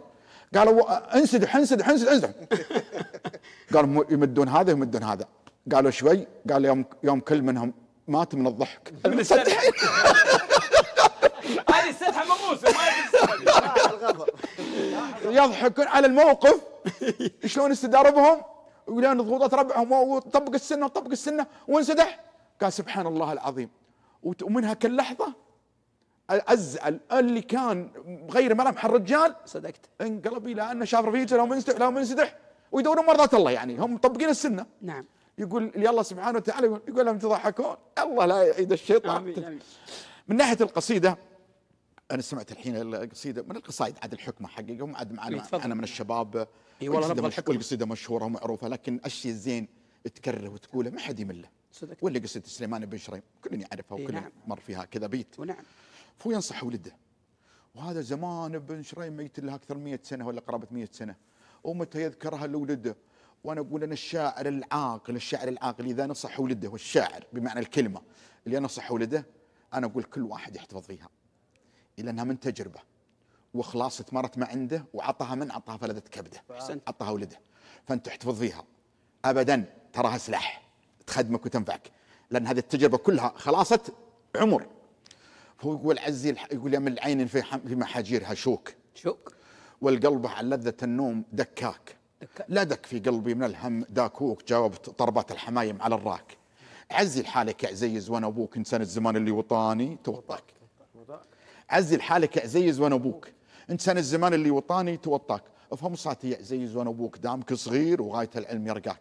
ترى ما ينفعك خالك ولا أخوك. لا صار ما تقضي لزومك بيمناك ربعك اللي يبنى الخلل فيك عفوك. أقرب زريب لك من الناس يشناك يا سلام. إن كثر مالك صدقوا لك وحبوك وإن قل ما بيدك شانت حلياك. لو تطلب من عندهم سام مسقوك. أبعد مزارك عن عن وطنهم أبعد مزارك عن وطنهم ومرباك و عزي لحالك يا عزيز وأنا أبوك إنسان الزمان اللي وطاني توطاك فهم صاتي عزيز وأنا أبوك دامك صغير وغاية العلم يرقاك. ترى ما ينفعك خالك. ولا أخوك لا صار ما تقضي لزومك بيمناك ربعك اللي بنا خلل فيك. عفوك أقرب زريب لك من الناس. يشناك ان كثر مالك. صدقوا لك وحبوك وان قل ما بيتك شانت حلياك. لو تطلب من عندهم تسام مسقوك. أبعد مزارك عن وطنهم ومرباك وهالراجة المجلس اللي جيت ووروك منازل تطرب نظيرك بدنياك. سلام. ولقضوا منك اللوازم وخلوك تفرقوا وانت تحتمل كل ما جاك. تنكس سراج البيت للنور شبوك. ولقضى لازم حد الربع طفاك. ولك مليمون الحمض مصوك. ولق- ولقضى من هالطعم مزغوا ذاك. واللي يجي من رفقته ريب وشكوك. احذر منها اياك تصحبه بمسراك ولا جفوك للوطن واستخفوك. اقلع غريسك منه واهدم ركياك. تراك لو ترجع على الرجل صعلوك. أحسن من اللي تلتجيبه ويعطاك. وعطهم حقوقهم اللي منهم جوك. واغلق ضميرك لا تعلم بطرياك. إن طبت ما حبوك ونعبت زلوك. تقضي حياتك ناقل داك برداك. ولا نفوك من الوظيفة وعافوك. خفت موازينك وكل انتهى قواك اصحى الخلان الرخله وتغلوك أعرف ترى طيبهم لا احتجت يجفاك. سنك خوي مقيط دهوك واغوك وحقك أعطاك رشاك وقفة وخلاك. واحذر من العيلة. ترى الحق مدروك. مثل العمل يدرس ما منه. فكاك. وإنسان عدوانك على الضد حدوك اخصم طلبتهم بعجفاك وجداك وإنسان مشرف الحق ما شوك. ناظر مطلع على الفرج قبل ما بداك. وانت طبعا الشيطان انفس وهانوك. فاصبر على البلوى وادفر رزياك. وزرهم تراك انت ونيت زروك. ما بديت الصح بس بداك. ما دام هم لك وعرفوك اضرب على السعيد اللي عمسة أرياك. سلام. ولو اذهبوك من المصاوب وضدوك. ما يذبحونك قبل تدري مناياك واحلم على الجاهل. ترى الحلم مبروك. وقم للضعيف اللي من الضيم ينخاك ودم خطا جيرانتك ودم خطا جيران بيتك ولو أوذوك. ترى القصير وحرمة الجار بحماك. وعطهم رواتب حقهم لو تنسوك. في كل ما يصلح لدينك ودنياك. واعرف ترى مالك من الضيف مشروك. لولا يطلب حاجته منك ما جاك. وقم للرجال انعنوا لك وضافوك. أغلى كرمتهم حجاجك وبشراك ولا تبات بهم دنياك مضروك. ما طاب لك ما دام لك وافتهم ذاك. ولو يريدون اخفايك الناس مخفوك. الرجل مثل النجم في كل الافلاك وصلاة ربي عند الاوراق والشوك. وما ناط براق ومهل سفاك على الذي ما فيه ريب ولا شكوك. محمد مدك بالقلب دكاك. بيض الله وجهك ما شاء الله تبارك الله يا أبو عبد الرحمن. هنيئا لك هذا الحفظ يا أبو الله عبد الرحمن. والله ما. نحمد الله المستعان. هنيئا لك يا أخي ما شاء الله. تبارك الله. ابن البيت تهيض وانت جبت القصيدة يقول عنده مشاركة. كفو عاد صوته ما شاء الله. تبارك الله.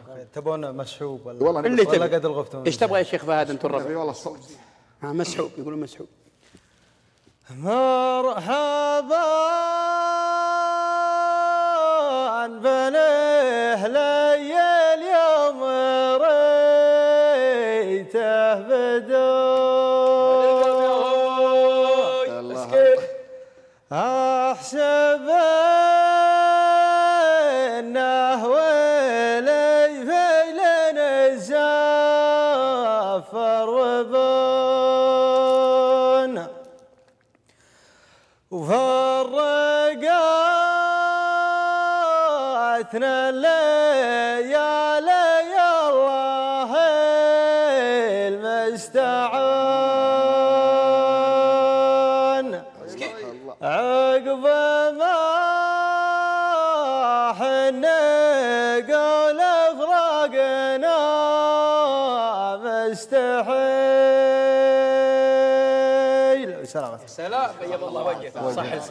الله أخوي أحمد لو قلت أبغاك توجه رسالة مختصرة للأسرة زوج وزوجة ماذا تقول لهم؟ والله أستاذ مبارك هي رسائل كثيرة ولكن أول شيء يجب على ال- الزوجين مخافة الله عز وجل في بعضهما.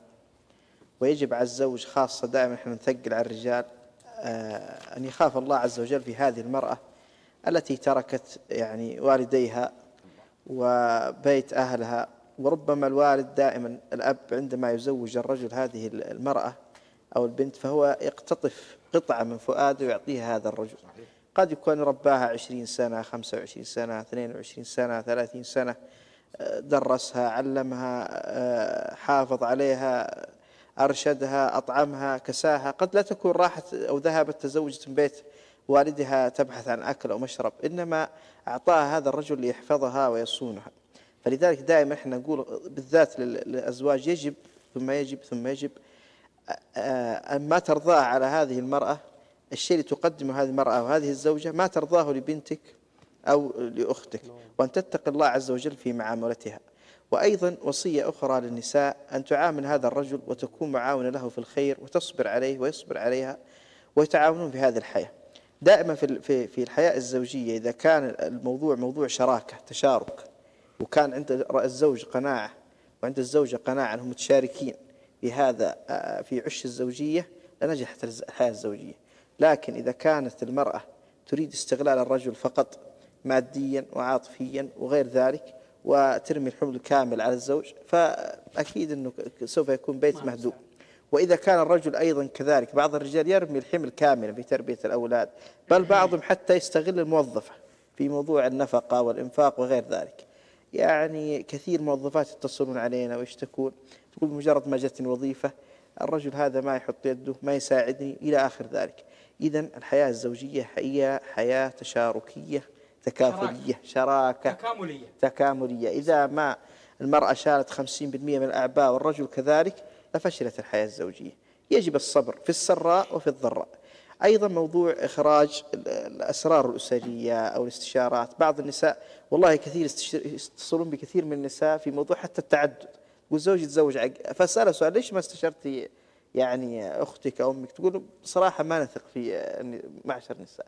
إن أغلبهم بعضهم يخبب بعض. فنثق في في المستشارين الأسريين أو الرجل لأنه أكثر حكمة في هذه الأمور، لذلك دائما الزوج أو الزوجة يبحث عن العاقل في موضوع المشكلة أو ال- أو المشكلة الزوجية، يبحث عن طرف يكون بعيد عن عنك يعني حتى لو عاطفي، قد أكون أنا اعقل الناس أنا شخصيا، لكن ممكن بنتي تجيني وأتعامل معها ب- أعطيها رأي بعاطفة. بدون عقل. بدون عقل، لذلك دائما المستشار الأسري أو غيره من بعيد دائما يعطي آه النصيحة الصادقة لل- للزوجة وللزوج. وأئمة المساجد بالخير وأيضا القضاة وغير ذلك. الناس مشهود لهم بالصلاح. أما نجد بعض الناس المزاج قال طلقها. والله لو زوجتي لفعلت بها كذا. والله لو زوجي كان فعلت كذا. هذا ناس جهال ولا عندهم عقل ولا عندهم دين ما ما عندهم. تعلم. فلذلك أيضا من الاشياء اللي اوصيها الرجوع المستشارين الاسريين الآن بعض الجمعيات تقدم استشارات مجانية مثل جمعية الزواج في جدة في مركز كامل. وغيرها كثير من الجمعيات أيضا جمعية مودة وغيرها من الجمعيات تقدم استشارات م- مجانيه وأنا أتوقع أي إمام مسجد أو صاحب علم يذهب له الشخص أو المرأة تتصل عليه تطلب النصيحة والاسترشاد لاعطاها النصيحة الصادقة. حتى في موضوع الطلاق يجب الرجل لا يستعجل موضوع الطلاق. كثير من الحالات تأتيني ويقول اصبر لا تستعجل خذ رأي إمام مسجد اذهب لقاضي اذهب لمصلح اجتماعي. إذا والله اجمعت جميع الأطراف إنه هذا الأمر يعني يستوجب الطلاق طلق. أما تجي من راسك كذا تتخذ يعني طيب. مشروع ما ينفع. فيه أسئلة كثيرة جاتني يا أستاذ أحمد. تفضل حبيبي. وأنا والله إني إن بعضها أو أغلبها إني أيدها على الصعيد الشخصي. وهي ألا ترى أن كثيرا من المستشارين الأسريين أو بعض الاستشاريين الأسريين أو بعض المحامين أو بعض المتصدرين في السوشيال ميديا أثروا على تكاتف الأسر وأصبحوا عامل هدم في الأسرة، كيف؟ في انه كل البث حقه رغبة في المتابعين والمشاهدين والشهرة كله يتصيد الأخطاء ويقول سوي كذا، قولي كذا، وخاصة في ناس كثير راسلوني يقول أكبر قضايا التخبيب للنساء هي من هذا المتحدثين. المستشارين اليسوا مؤتمنين؟ المتصدرين اليسوا مؤتمنين؟ مستشار. وبعدين أنا بتكلم بالنيابة عن الرجال. من أول كلبونا دولتنا ومجتمعنا مع المرأة وكلامنا كلبوه على المرأة لأنها ال- ال- الحلقة الأضعف واللبنة لكن الآن مع هذا الوعي أنا أتوقع ما حد في ضعيف الآن في هذه الدولة. الله يعز الملك سلمان والأمير محمد. ما في حد ضعيف لا رجل ولا مرأة كل يأخذ حقه. ما زال الصوت ال- ال- ال- الأكبر والأضخم هو الصوت القائم مع المرأة. وهذا الرجل الصوت اللي يدعمه قليل. فأنا أبغاك يعني تنتصر لهذا الرجل وتعطينا رأيك أستاذ أحمد. والله بالنسبة بال- بالنسبة يا رجال؟ بالنسبة للرجل فهو زي الجمل. لازم يحمل. يا سلام. فأنا أقول الرجل دائما يتحمل وأقول- جواب ذكي يا شيخ. نعم الرجل لازم يحمل ويتحمل ويصبر. إذا ما صبر الرجل يعني نحمل المرأة هي الصبر يجب على الرجل إنه يحمل. أما بالنسبة للمحامين والله ما أدري أخاف يشتكون أنا أقول بعض. بعض أخاف- بعض. أخاف لا نعم. الأغلبية في جميع فئات مجتمعنا ونعم. لكن هناك بعض. أطلقها من عندي الليلة؟ نعم. ابتعدوا يا نساء يا رجال عن المحامين. والله الذي لا إله إلا هو. إن هدفهم أنا جلست بعض بعض حضرت. بعض يا شيخ. بعضهم إي نعم. أغلبهم هو ما فتح مكتب محاماة يعني سواء محامي أو مستشار. نعم. قصدك اللي في البثوث. أنا اتكلم نعم إيه. محامين ال- المحامين أتكلم محامين. هو ما فك مكتب محاماة إلا يسترزق. هو حقه يعني. يعني أنا فتحت انت بقاله أو مغسلة أو مشروع تجاري ما فتحته عشان تصدق على الناس تصدق. عشان تسترزق. لذلك المحامي لا يؤخذ منه نصيحة ولا استرشاد. المحامي أو المحامي بيجيك نعم تطلقي لك حقوق كذا وكذا وكذا ويأخذ المبلغ والله إني أعرف واحدة تقول دفعت خمسين ألف ريال وفي الأخير ما خرجت منه إلا بخفي حنين. خسرها الأسرة خسر الأسرة ولا حتى كسبنا ولا قضية ولا أي شيء من الكلام اللي قالوا أي محامي أو أي محامية يبغى يسترزقون صراحة نصيحة. لذلك آه، موضوع الاستشارات القانونية اللي تقدم في السوشيال ميديا بما يخص الأحوال الشخصية ومحكمة الأحوال الشخصية لا يؤخذ من المحامي لأن هدفه مادي. بحت والله يكفينا شر ما أقول على العموم ترى ترى بس عشان عشان ننصف ترى. إحنا نقول قصدك أنت أستاذ أحمد البعض. لأن هناك بعض المحامين أنا أعرفهم شخصيا والله إنهم مصلحين معنا. وإنهم محتسبين. أنا أعرف محامين أتى إليه قضايا ودفع له مبالغ مالية وشاف إن الق- المبالغ المالية هذه لو أخذها بيظلم نفسه و و وعنده مبادئ أغلى من المال بس إحنا فتركها وأصلح والله. فإحنا نقول بعض. المستشارين ما تخلو. وبعض المحامين إحنا ننصح. ننصح. بالابتعاد لأنه محامي ليس طعنا فيه هو ما لا بس ما ودنا نعمم نقول بعض يا. بعضهم نعم أنا أصر على كلمة بعض. بعض. هو إيه. حتى في الدراسات يقول لا كلمة القطعية ما تصلح. يعني واحد يقول في ما فهو أصلا المحامي أصلا ما فك مكتب الا يسترزق وما فك المكتب هذا عشان سواد عيوني وسواد بس ما يمنع يا شيخ إنه يسترزق آه، ويستفيد هو مع الحفاظ على مبادئه ودينه ومجتمعه. وهذول كثير ترى. يا شيخ مبارك هو لو جاله حالة آه، أسرية بيقدم هو بيروح يترافع في المحكمة وبيرفع قضية بياخذ مبلغ. أنا سؤالي كان عليكم أنتم يا المستشارين الأسريين وأشوفك تأخذ الضربة تضربها المحامين أنا أقول أنتم يا المستشارين الأسريين أنتم أيضا والله إن عندكم مثل ما عند المحامين. البعض فيكم والبعض فيهم. إحنا عملنا الوجه أنا لا تأخذني في ميدانك خليك في ميداني إحنا إحنا عملنا لوجه الله سبحانه وتعالى. والله إن بعض الحالات تستمر معها شهر وشهرين وثلاثة شهور وأربع شهور سواء النساء أو- وإني ما أطلب منهم لا مقابل مالي أو لا ولا غيره. هذا هو. وإني اتصالات بعض الأحيان والله العظيم حتى تشغلني عن بيتي أحسنت. من النساء. والحمد لله كثير حالات يعني اشتغلنا معها بالشهر بالشهرين الثلاثة اسريه والآن من أبدع وأفضل ما يكون. فضل من الله أنا ما أتكلم عن سعيد الشخصي أنا أعرفك أستاذ أحمد وحنا دعيناك لأن نعرف جهودك ال- ال- المجملة والمشرفة ويجينا والله لكن يعني. نتكلم عن بعض الحالات ما في فئة في المجتمع كاملة النقص موجود والناس خلقوا بالنقص نعم نعم. لكن هذه بعض الأسئلة اللي ترد من الجمهور من حقهم هو علينا بالحق. أن هو الذهاب عدم المتفق. لكن أتفق أنا وياك هو يا شيخ أن سواء مستشار أو محامي أو ايا كان يجب عليه مثل ما قال الشيخ فهد أو شيخ قبيلة أو مواطن عادي أو حتى ايا كان يجب عليك أن تراعي الله في كل تصرفاتك في كل كلمة تقولها في كل حركة وأن تراعي ضميرك ضميرك ضميرك سؤال هل هذا المستشار إحنا دائما نقول هل هو مؤهل علميا دينيا أي، هذا هو اللي. بعض المستشارين لما تجي ما عنده أي مؤهل صحيح. علمي ولا مؤهل أخلاقي. بلقب نفسه ولا بس. مؤ- لقب نفسه وأصبح يعني أنا ما أصلا ما في شهاده ظني مستشار. في؟ في دو في دبلومات وفيها يعني لكن بمسمى مستشار يعني يسمى يقدر أي واحد يطلق عليه. وفي آه، دورات قدمت أص... يعني في في الموضوع هذا ساعات طوال. ما يجينا أي واحد في السوشيال ميديا وغيرها فك ال- الكاميرا وقال أنا مستشار مستشار في العنان هذا كلام غير صحيح. وحتى في أخوات لنا والله مستشارات اسريات وتعاملنا معهم والله فيهم من العدالة والإنصاف. أحسن. وتجمع بعدين أي استشارة ما يجيني واحدة تدق علي في خمس دقائق تبغى نحل مشكلتك ولا مشكلتك وانتهى. الوضع. يعني بعض حتى النساء تكلمني يا شيخ أحمد كذا كذا كذا. لما أقول لا انت غلطان قالت أنتم يا رجال كلكم كذا. طق بالسماعة. لابد من تعديل السلوك وأخذ والعطاء. بعض الحالات جلست عندي تسع شهور. وإحنا نحاول نعدل السلوك والحمد لله يعني الأمور مشيت الحمد لله. هي في- الأخير هي.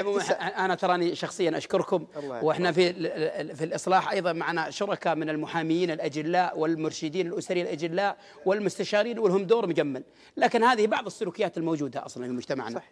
أبو ركان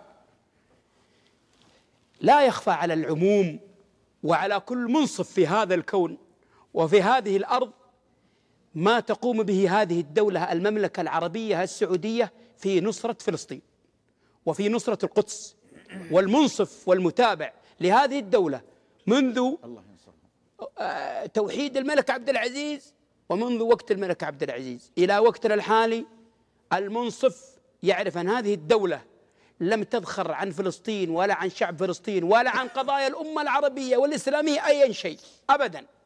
لكن ماذا يفرق السعودية عن غيرها من دول؟ أن هناك بعض الدول نصرته هي بكتابة اللافتات واللوحات ويظاهرون في الشوارع أو استخدام المنابر الإعلامية للشعارات الفاضية. لكن نحن في السعودية ولاة أمر ومجتمع ما نمشي في الشوارع باللافتات.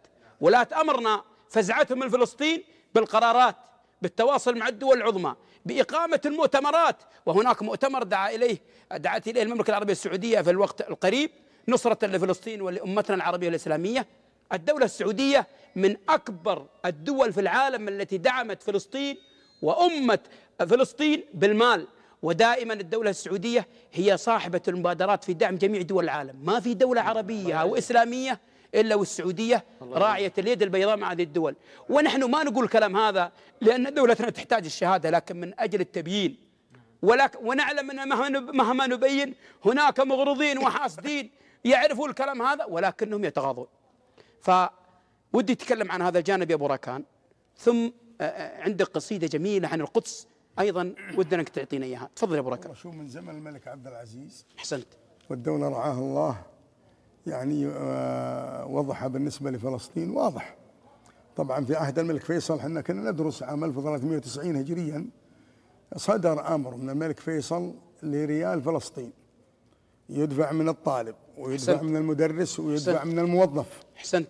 في المملكة العربية السعودية والدولة أيضا ساهمت من ذلك الزمن وإلى اليوم وأيضا المؤتمرات ال- الشعب شعب المملكة العربية السعودية يعني متضامن مع مع أخواننا في غزة. أكيد. والمسلم أخو المسلم. نعم. صحيح. والله أنا القصيدة اللي تسأل عنها هذه في مهرجان تدمر. طبعا أنا شاركت في عدة مهرجانات في الوطن العربي. شاركت في سوريا شاركت في آه، تونس شاركت في المغرب شاركت. دائما أشارك بالشعر العربي أو الشعر الفصيح أحسنت. هنا. طبعا الشعر الشعبي يفهم في آه، الأردن آه، في أطراف سوريا لكن إذا بعدت في الدول العربية اللي بعيد يحتاج الفصيح. يحتاج تحتاج الفصيح. أحسنت. فأنا معظم مشاركاتي كانت بالفصيح وعن فلسطين. شاركت عن فلسطين في مهرجان تدمر وفي مهرجان بصرة الشام وفي مهرجان اللاذقية وفي مهرجان تونس وفي مهرجان المغرب كلها عن فلسطين. ووقفت المملكة العربية السعودية مع أخواننا وأشقائنا في فلسطين وفي غزة وفي غيرها من مدن فلسطين. أنا ليش سألت السؤال ذا يا راكان قبل تجيب القصيدة. العقلاء في جميع دول العالم يرون ما تقوم به المملكة العربية السعودية. وأنها الحاضن الكبير لهذه الأمة والداعم الكبير لهذه الأمة. المملكة العربية السعودية لا يجحد أفعالها إلا جاحد ولا يجحد ولاة امرها إلا جاحد. وأنا جاي شفت بعض التغريدات وبعض الهجوم على هذه الدولة توجعنا. وحنا يا السعوديين ما أنا مثل الدول. إذا هوجموا ولاة امرنا نزعل ولا نرضى. إذا هوجمت دولتنا نزعل ولا نرضى. هذه دولتنا هذا كياننا وهؤلاء حكامنا. واللي ما. يحمى فيهم ما في خير. صح. فإحنا نتكلم الآن نعلم اللي ما يعلم. أما العقلاء يعرفون ماذا قدمت هذه الدولة وماذا تقدم. وهذه الدولة بعد الله سبحانه وتعالى والله أنها صمام أمان للأمة الإسلامية والأمة العربية. صح. نعم. تفضل يا شيخ. في مهرجان تدمر أقول أين البوادي؟ وأين المجد والألق؟ أين البراءة منها أقبل القسق؟ أين الأصالة إني جئت أسأل عن؟ أمس لنا فاح منه العز والعبق. يا خيل تدمر هل أبقت فوارسها خيلا إلى العز والعلياء تستبق؟ إني أرى فيك تاريخا تجسده حضارة بشموخ الفتح تعتنق. أرى امتداد حضارات وأزمنة. تروي حكاية من سادوا ومن سمقوا. هذه الوجوه وهذه الأرض وأعرفها أهلي وأرضي. لها الوجدان يندفق. الشام نجد ونجد الشام فحشذا هنا الحجاز هنا مصر هنا الألق. بغداد عمان غرب العرب مشرقهم. هنا الخواطر والأشجان تتفق. جئنا وذاكرة التاريخ حاضرة. منها الكتائب والفرسان تنبثق والنقع تحت ظلال الخيل سابحة عروبة من قيود الرق تنعتق. وابن الوليد يروي حد صارمه وتاج قيصر ما عادت له عنق. يا شام لو أن هذه الأرض ناطقة تحكي لنا أمر من للشام قد عشقوا كم من كمات على جرد مطهمة وكم سيوفا بها الهامات. تنفلق وكم قلاعا وكم جهدا وكم عرقا أيام كنا وكان الجهد والعرق يا شام يا شام والأشواق تسبقنا. جئنا وقد كاد سفر المجد يحترق. قم اكتبي من جديد حلم أمتنا. ورتق الثوب إن الثوب منفتق. مد الشراع على صاريه منقذة. هذا السفينة فقد أودى به القرق. قانا تفتش عن أهل وعن وطن. والقدس تسأل عن أهل لها سبقوا أرى السواتر والجولان غاضبة منا ولكنها في وعدنا تثق فغضبة الشام طوفان إذا قضبت فما لصهيون إلا الذل والفرق فيالق العرب الأحرار قادمة والموعد القدس بل فالموعد الفلق والفجر آت وها لاحت بشائره جمرا بأفئدة الثوار يلتصق تأبى الكرامة أن ننسى كرامتنا حتى نحرر ما من أرضنا سرقوا. يا بلبل الشام غرد في مضاربنا. لحنا به زغردات النصر تنطلق فالغيث بعد رذاذ المزن هاطله. وأول الخلق في تكويننا علق. يا سلام يا سلام يا سلام. الله يبيض وجهك وهذه تتكلم عن أي مواطن سعودي. الله يعطيك العافية يا ركا. الله يعطيك العافية. يبيض وجهك ومن يسمع. ابن سفران. مشاركة طال عمرك. تامر أمر طال عمرك. حنا نقول يا الله يلي بأمرك تدور الافلاك سبحانه. يا الله يلي بأمرك تدور الافلاك يلي على خلقك رقيب ورحومي. تدلنا على الخير بإحسان وإدراك. وإنك تجنبنا لهيب السمومي يا سلام. من بعدها نصيحة لا تعداك. نصيحة تشبه طواف القدومي. عليك بالتقوى عسى الله يرعاك. ويحفظك رب الكون من شل غيومي يا سلام. الإسلام دين وقدوة لك مسراك هو قدوة الساري سوات النجومي وبركانها الخمسة تمسك بيمناك ولا ضاع دينك ما تصر العلومي. كلام. ثبت على الإسلام ساسك ومبداك وبطاعة الرحمن خلك عزومي. على طريق الخير يزين ممشاك وما يخلف الأقوات كن الرخومي يا سلام. خلك مع الأجواد لا تكسر أخطاك شرومي يسمع. شروق خلك مع الأجواد لا تكسر أخطاك الأجواد تعرف للقداوي السلومي. خوة شرف ما بين ذولا وذولاك. أهل الشرف والعز ترقى الرجومي. واحذر جليس السوء في دربها أشواك شوكوا مسامير سوات السهومي. يرميك يا المغرور وان طحت خلاك. خلاك في بير حطبها ردومي. والوالدين ارفق بهم لا عدمناك حطم بطاعتهم جميع الرقومي. يا سلام. ارفق بابوك اللي على الطيب رباك. وان جاك مكروه سهر ما ينومي وبطاعتك لأمك ترى رضيت مولاك وأخذت كسمك من خيار القسومي. والجار له كل ساعة مركاك. الجار يا الأجواد دوم محشومي. ادمح له الزلة ولو جاك ما جاك ترد له ثلاث حقوق عند القرومي. يا سلام. الإسلام والجيرة وضحكة محياك ونصيحتي له للوفاء بالعمومي.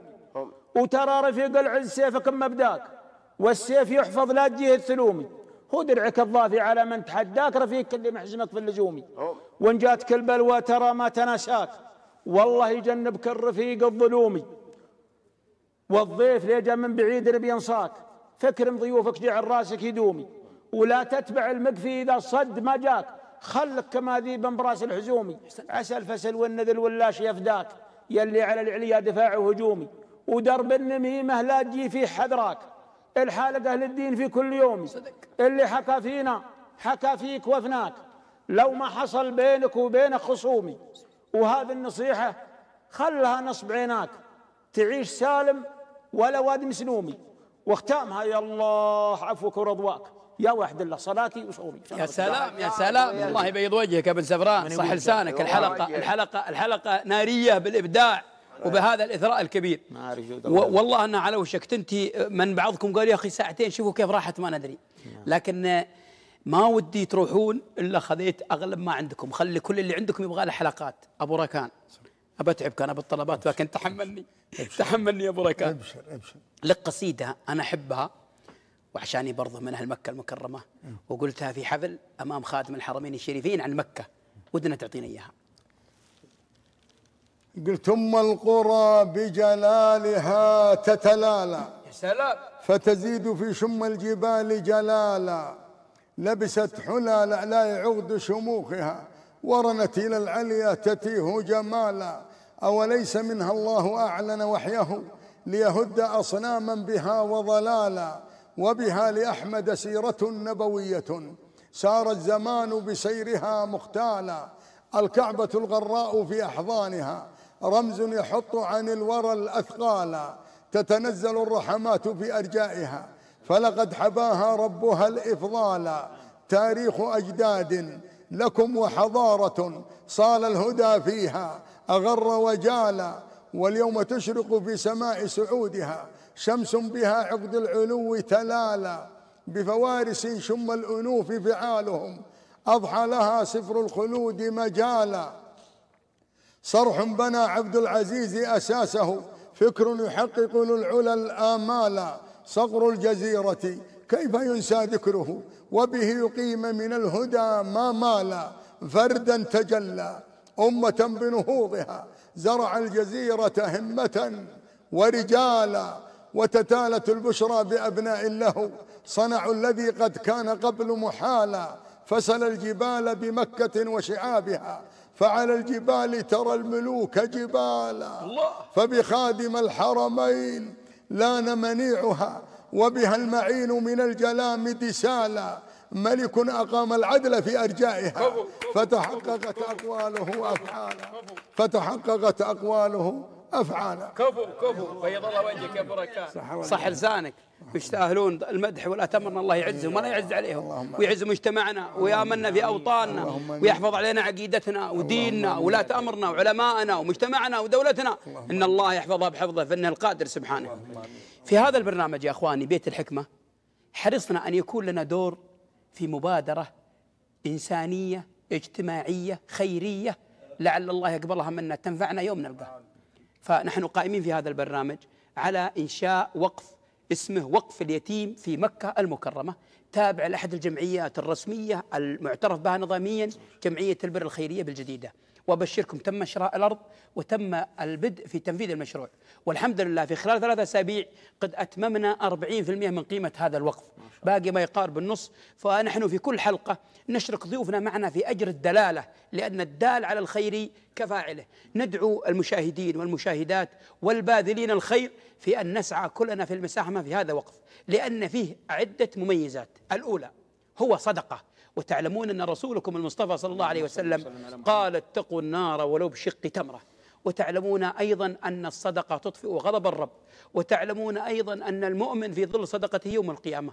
وتعلمون أيضا أن حبيبكم المصطفى صلى الله عليه وسلم قال ما نقص مال من صدقة بل يزيد بل يزيد بل يزيد. فأولها الصدقة. ثم ثانيا هو في أطهر وأشرف البقاع في الأرض وهي مكة المكرمة. وتعلمون أن الأعمال فيها تضاعف والحسنات والله يضاعف لمن يشاء.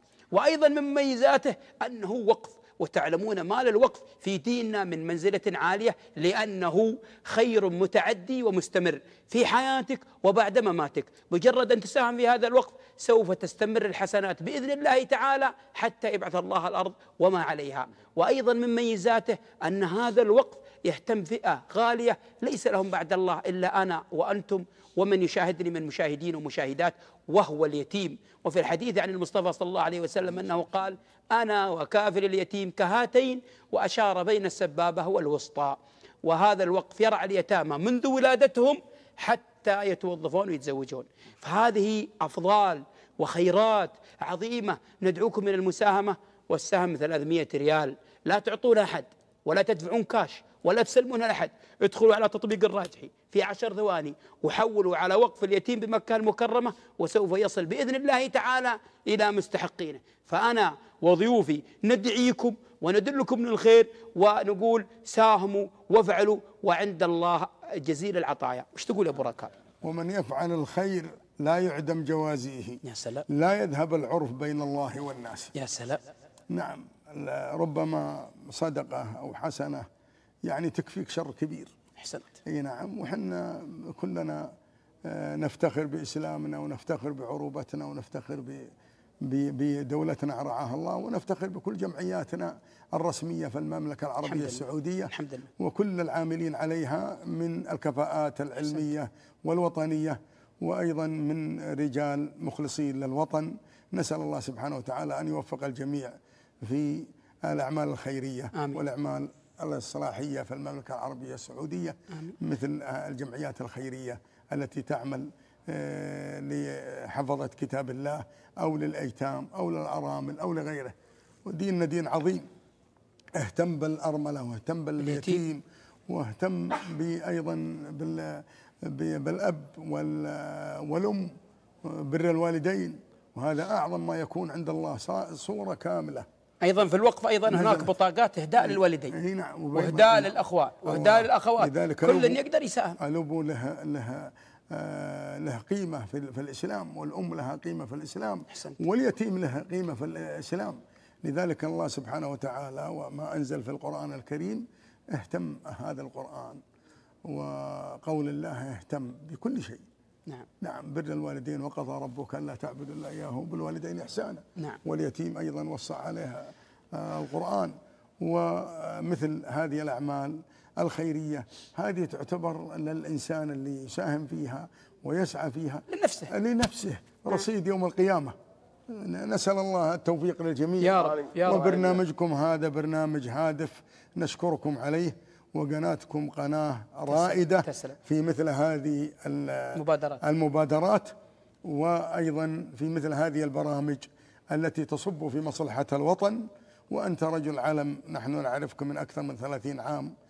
معنا في الإصلاح. معنا في الجاه في الجاهيات معنا في كثير من المنابر الله سبحانه وتعالى أعطا- أعطاك الفصاحة والله. أعطاك أيضا آه، الخبرة في كثير من الأمور إحنا نعرفها كنا. كنا دائما إذا جينا في أي جاهية إن كلنا نستأنس برأيك بركة. بحديثك ما عليك. وأنت كل أعمالك تصب في مصلحة الوطن ما عليك حتى. برنامجكم ذا البرنامج الرائد في المملكة العربية السعودية وفي كل قنوات العالم نشكركم عليه. ونتمنى لقناتكم أنها دائما تسير في مثل هذه البرامج والتي تفيد المجتمع وأيضا تقوي اللحمة الوطنية في المملكة العربية السعودية جميل التي. نحن جميعا في حاجة إليها. جميل أمام تبارك. العالم. جملت الله لكم يبيض. وجهك. الله يبيض الله وجهك. وش تقول يا ابن سفران لل- لل- للمتابعين عن هذا الوقف؟ والله نقول طال عمرك كما قال الرسول صلى الله عليه وسلم. اللهم ما صدق ما نقص مالا من صدقه. وأنا أقول أهل المال واللي يتصدقون ترى ما ينقص من مالكم شيء. هذا مثل اللي تأخذه من جيبك الأيسر وتحطه في جيبك الأيمن. نعم. الحمد وهذه تنفعك في يوم لا حول ولا قوة إلا بالله ويوم لا ينفع مال ولا بنون إلا من اتى الله بقلب سليم. لذلك إحنا نشجع على المبادرات دي ونشجع على العمل الخير. وهذا قناتكم هذه تشجع على المبادرات الطيبة الحمد لله. والعمل الصالح. الحمد لله. نسأل الله أن يجعلها موازين حسنات آمين يا رب العالمين. ويوفق أبو- الجميع إن شاء الله. آمين. أبو تخيل. يقول راعي المثل فلوسك ما هي باللي في مخباك ولا في حسابك. نعم. فلوسك اللي تقدمها عند ربك. نعم. إيش تقول؟ أقول طال عمركم يسمع هذا شيء تقدمه لنفسك. يمكن الورثه ما عاد أحد منهم تصدق شيء صدق. ولا جيت مكة لهذا لا- وقف اليتيم. وحتى لو آخر عمرك ولا تراك مساهما فيه حتى وأنت متوفي. صدق. صدقه. واليتيم وفي مكة. اليتيمان إحنا أبوانهم امهاتهم كل ال- الشعب السعودي. يدرس ويعالج ويوكل ويدفى من البرد. ويظلل من الشمس. هذه فرصة سعيدة. والرابح اللي ربي يتفضل عليه بالنفقة فيها وكل اتهم غير 300 ريال. نعم. لو أروح بهذا محل ما جاتني بشاورما ولا جاتني فشفش للورعان الله يوفق الجميع. جملت يا أبو تخيل لكن يقولون. 300 بيجيب لك فشفاش لا تكبرها يعني. فشفاش لا تكبرها. المشواش والشاورما هو قصدك البيت يعني أغراض البيت يعني. أي يا رجال. جملت يا ابو أبو تخيل. جملت. أخوي أبو عبد الرحمن وش تقول؟ بالنسبة لهال الوقف وقف ال- اليتيم وفي مكة وما زال على حدر الإنشاء الآن بدأ ووصل لحد النص تقريبا. بإذن الله انه راح يكتمل قريب بمشيئه الله. إن شاء الله بإذن الله. ال- الناس ال- الإنسان آه، أحيانا هو حريص على مصلحة نفسه وبيدخل إن شاء الله وبيشارك ويدور ما عند الله. لكن يبى أوجه بذكر بس بذكر والذكرى لي ولا الجميع ولا. إن كل إنسان فاقد له ناس غالين صدقت. اما صديق عليه غالي اما قريب اما أخوي اما زميل اما اللي يكون. فأنت لا ذكرت هذا واغليته ودك تقدم له شيء.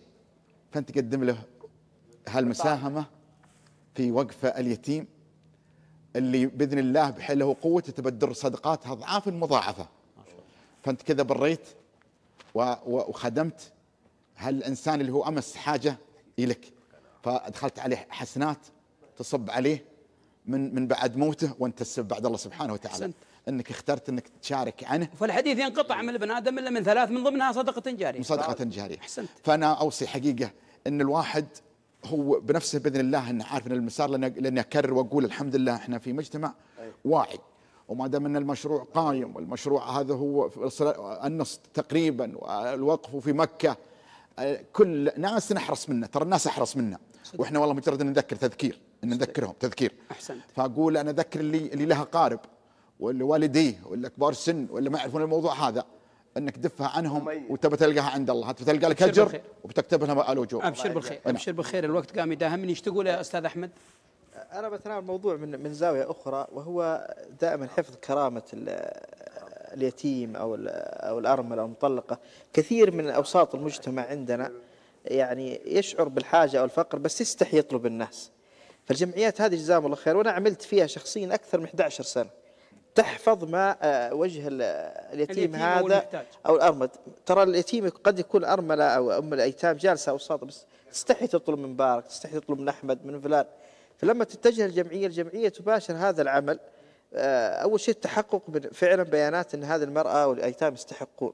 وهذا فيه برضو حفظ الأموال أين تذهب وأين تغدو ثاني حفظ كرامه اليتيم.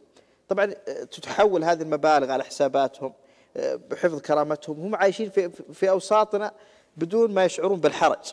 يعني تخيل بالله أم الأيتام تدق على أبواب وتطلب هذا ما في حفظ كرامتها. لكن بس توجه للجمعيات الخيرية وتقدم بشكل رسمي. بعدين أنا اللي أعرفه الآن حتى أم الأيتام ما أصبحت تتوجه يعني يقدموا عن طريق المواقع الإلكترونية وكذا. ويصلها إلى الجمعيات تبحث عنهم الآن. تبحث وتوصل الأرزاق إلى حدهم كثير من الأسر آلاف الأسر وأشرفت عليها بنفسي مسجلة في جمعيات خيرية والجمعيات كل سنة وتأتي يعني تعطيهم الأرزاق بما يحفظ كرامتهم. جزاكم الله خير. الله يجعلنا وإياكم المنفقين. أرقام الجمعية موجودة على الشاشة وتبرعوا يا إخواني لأنفسكم وساهموا مع الناس. ترى الوقف هذا بإذن الله بيتم. لكن هناك من كتبهم الله من المنفقين والمتصدقين بتسجل اسمائهم وسوف يمر ويقول أنا ساهمت في هذا الوقت. وهناك من يفوتهم هذا الخير. الله يجعلني وإياكم من اللي يبادرون ويساهمون ويجعل لهم عمل خير يقبل الله سبحانه وتعالى وينفعهم في موقف لا ينفع مال ولا بنون إلا من اتى الله بقلب سليم. الحقيقة الحلقة من كل الحلقات والله رائعة ولكن هذه الحلقة كل حلقة تجي أفضل من اللي قبلها. حلقة رائعة، حلقة مثرية، حلقة جميلة الوزن بتواجدكم بوجودكم باثراءكم الله يبيض وجيهكم كلكم. أشكركم جميعا في ختام هذه الحلقة. أشكر أخي الدكتور فهد المعطاني الذي جانا من مكة. بيض الله وجهك يا أبو ركاب شكرا لك طال عمرك. واجبنا الوطن الله يبيض وجيهكم شكرا لك أخوي صالح بن زفران. الله لا يهينك يجمل حالك. شكرا لك يا أبو تخيل. الله يعطيك عمرك. شكرا لك أخوي منيف بن شويب. يطول عمرك. الله يبيض وجهك يطول. عمرك على ما. قدمت. تسلم. أخوي أحمد القرني الله يبيض وجهك. وجهك. يرحم والديك جيتنا من جدة وتعنيت شكراً. شكرا على ما قدمت. سعيدة يا حبيبي فرصة تعرفنا عليك وعلى الله يحييك أستاذ أحمد. يحييكم جميعا. أنتم أهل الفضل بعد الله سبحانه وتعالى. شكرا أخواني المتسابقين والمتابعين اللي شاركوا معنا. والله يعطيكم العافية. وكان ودي إن أخلي كل واحد يشارك أكثر. ولكن أنتم دائما تاخرون في الجيه أنا أقول تعالوا معنا اول الحلقة. لكن تقعدون لين تنتهي الحلقة وتجون. وبعدين أنا وياكم آه، حقا علينا أن نعطي الضيوف وقت أكثر من وقتنا لأنهم تعنا ومن خارج الرياض ومن خارج فاسمحوا لي. وأسأل الله تعالى أيها المتابعون أن أكون قدمت أنا وضيوفي ما يرضي الله عنا تعالى أول شيء. ثم يوافق سنة نبيه. ثم يرضي جميع متابعينا وجميع متابعاتنا وينول على استحسانهم. نوعدكم إن شاء الله بلقاء يتجدد القابلة في نفس الوقت. نترككم في رعاية الله وحفظه. والسلام عليكم ورحمة الله وبركاته. شكرا لكم. بيض الله الله ترحيب غالي عبر شاشة بداية في بيت للحكمة للأحلام تحقيق. سوالف جزلة وشعر ورواية نجمع رجال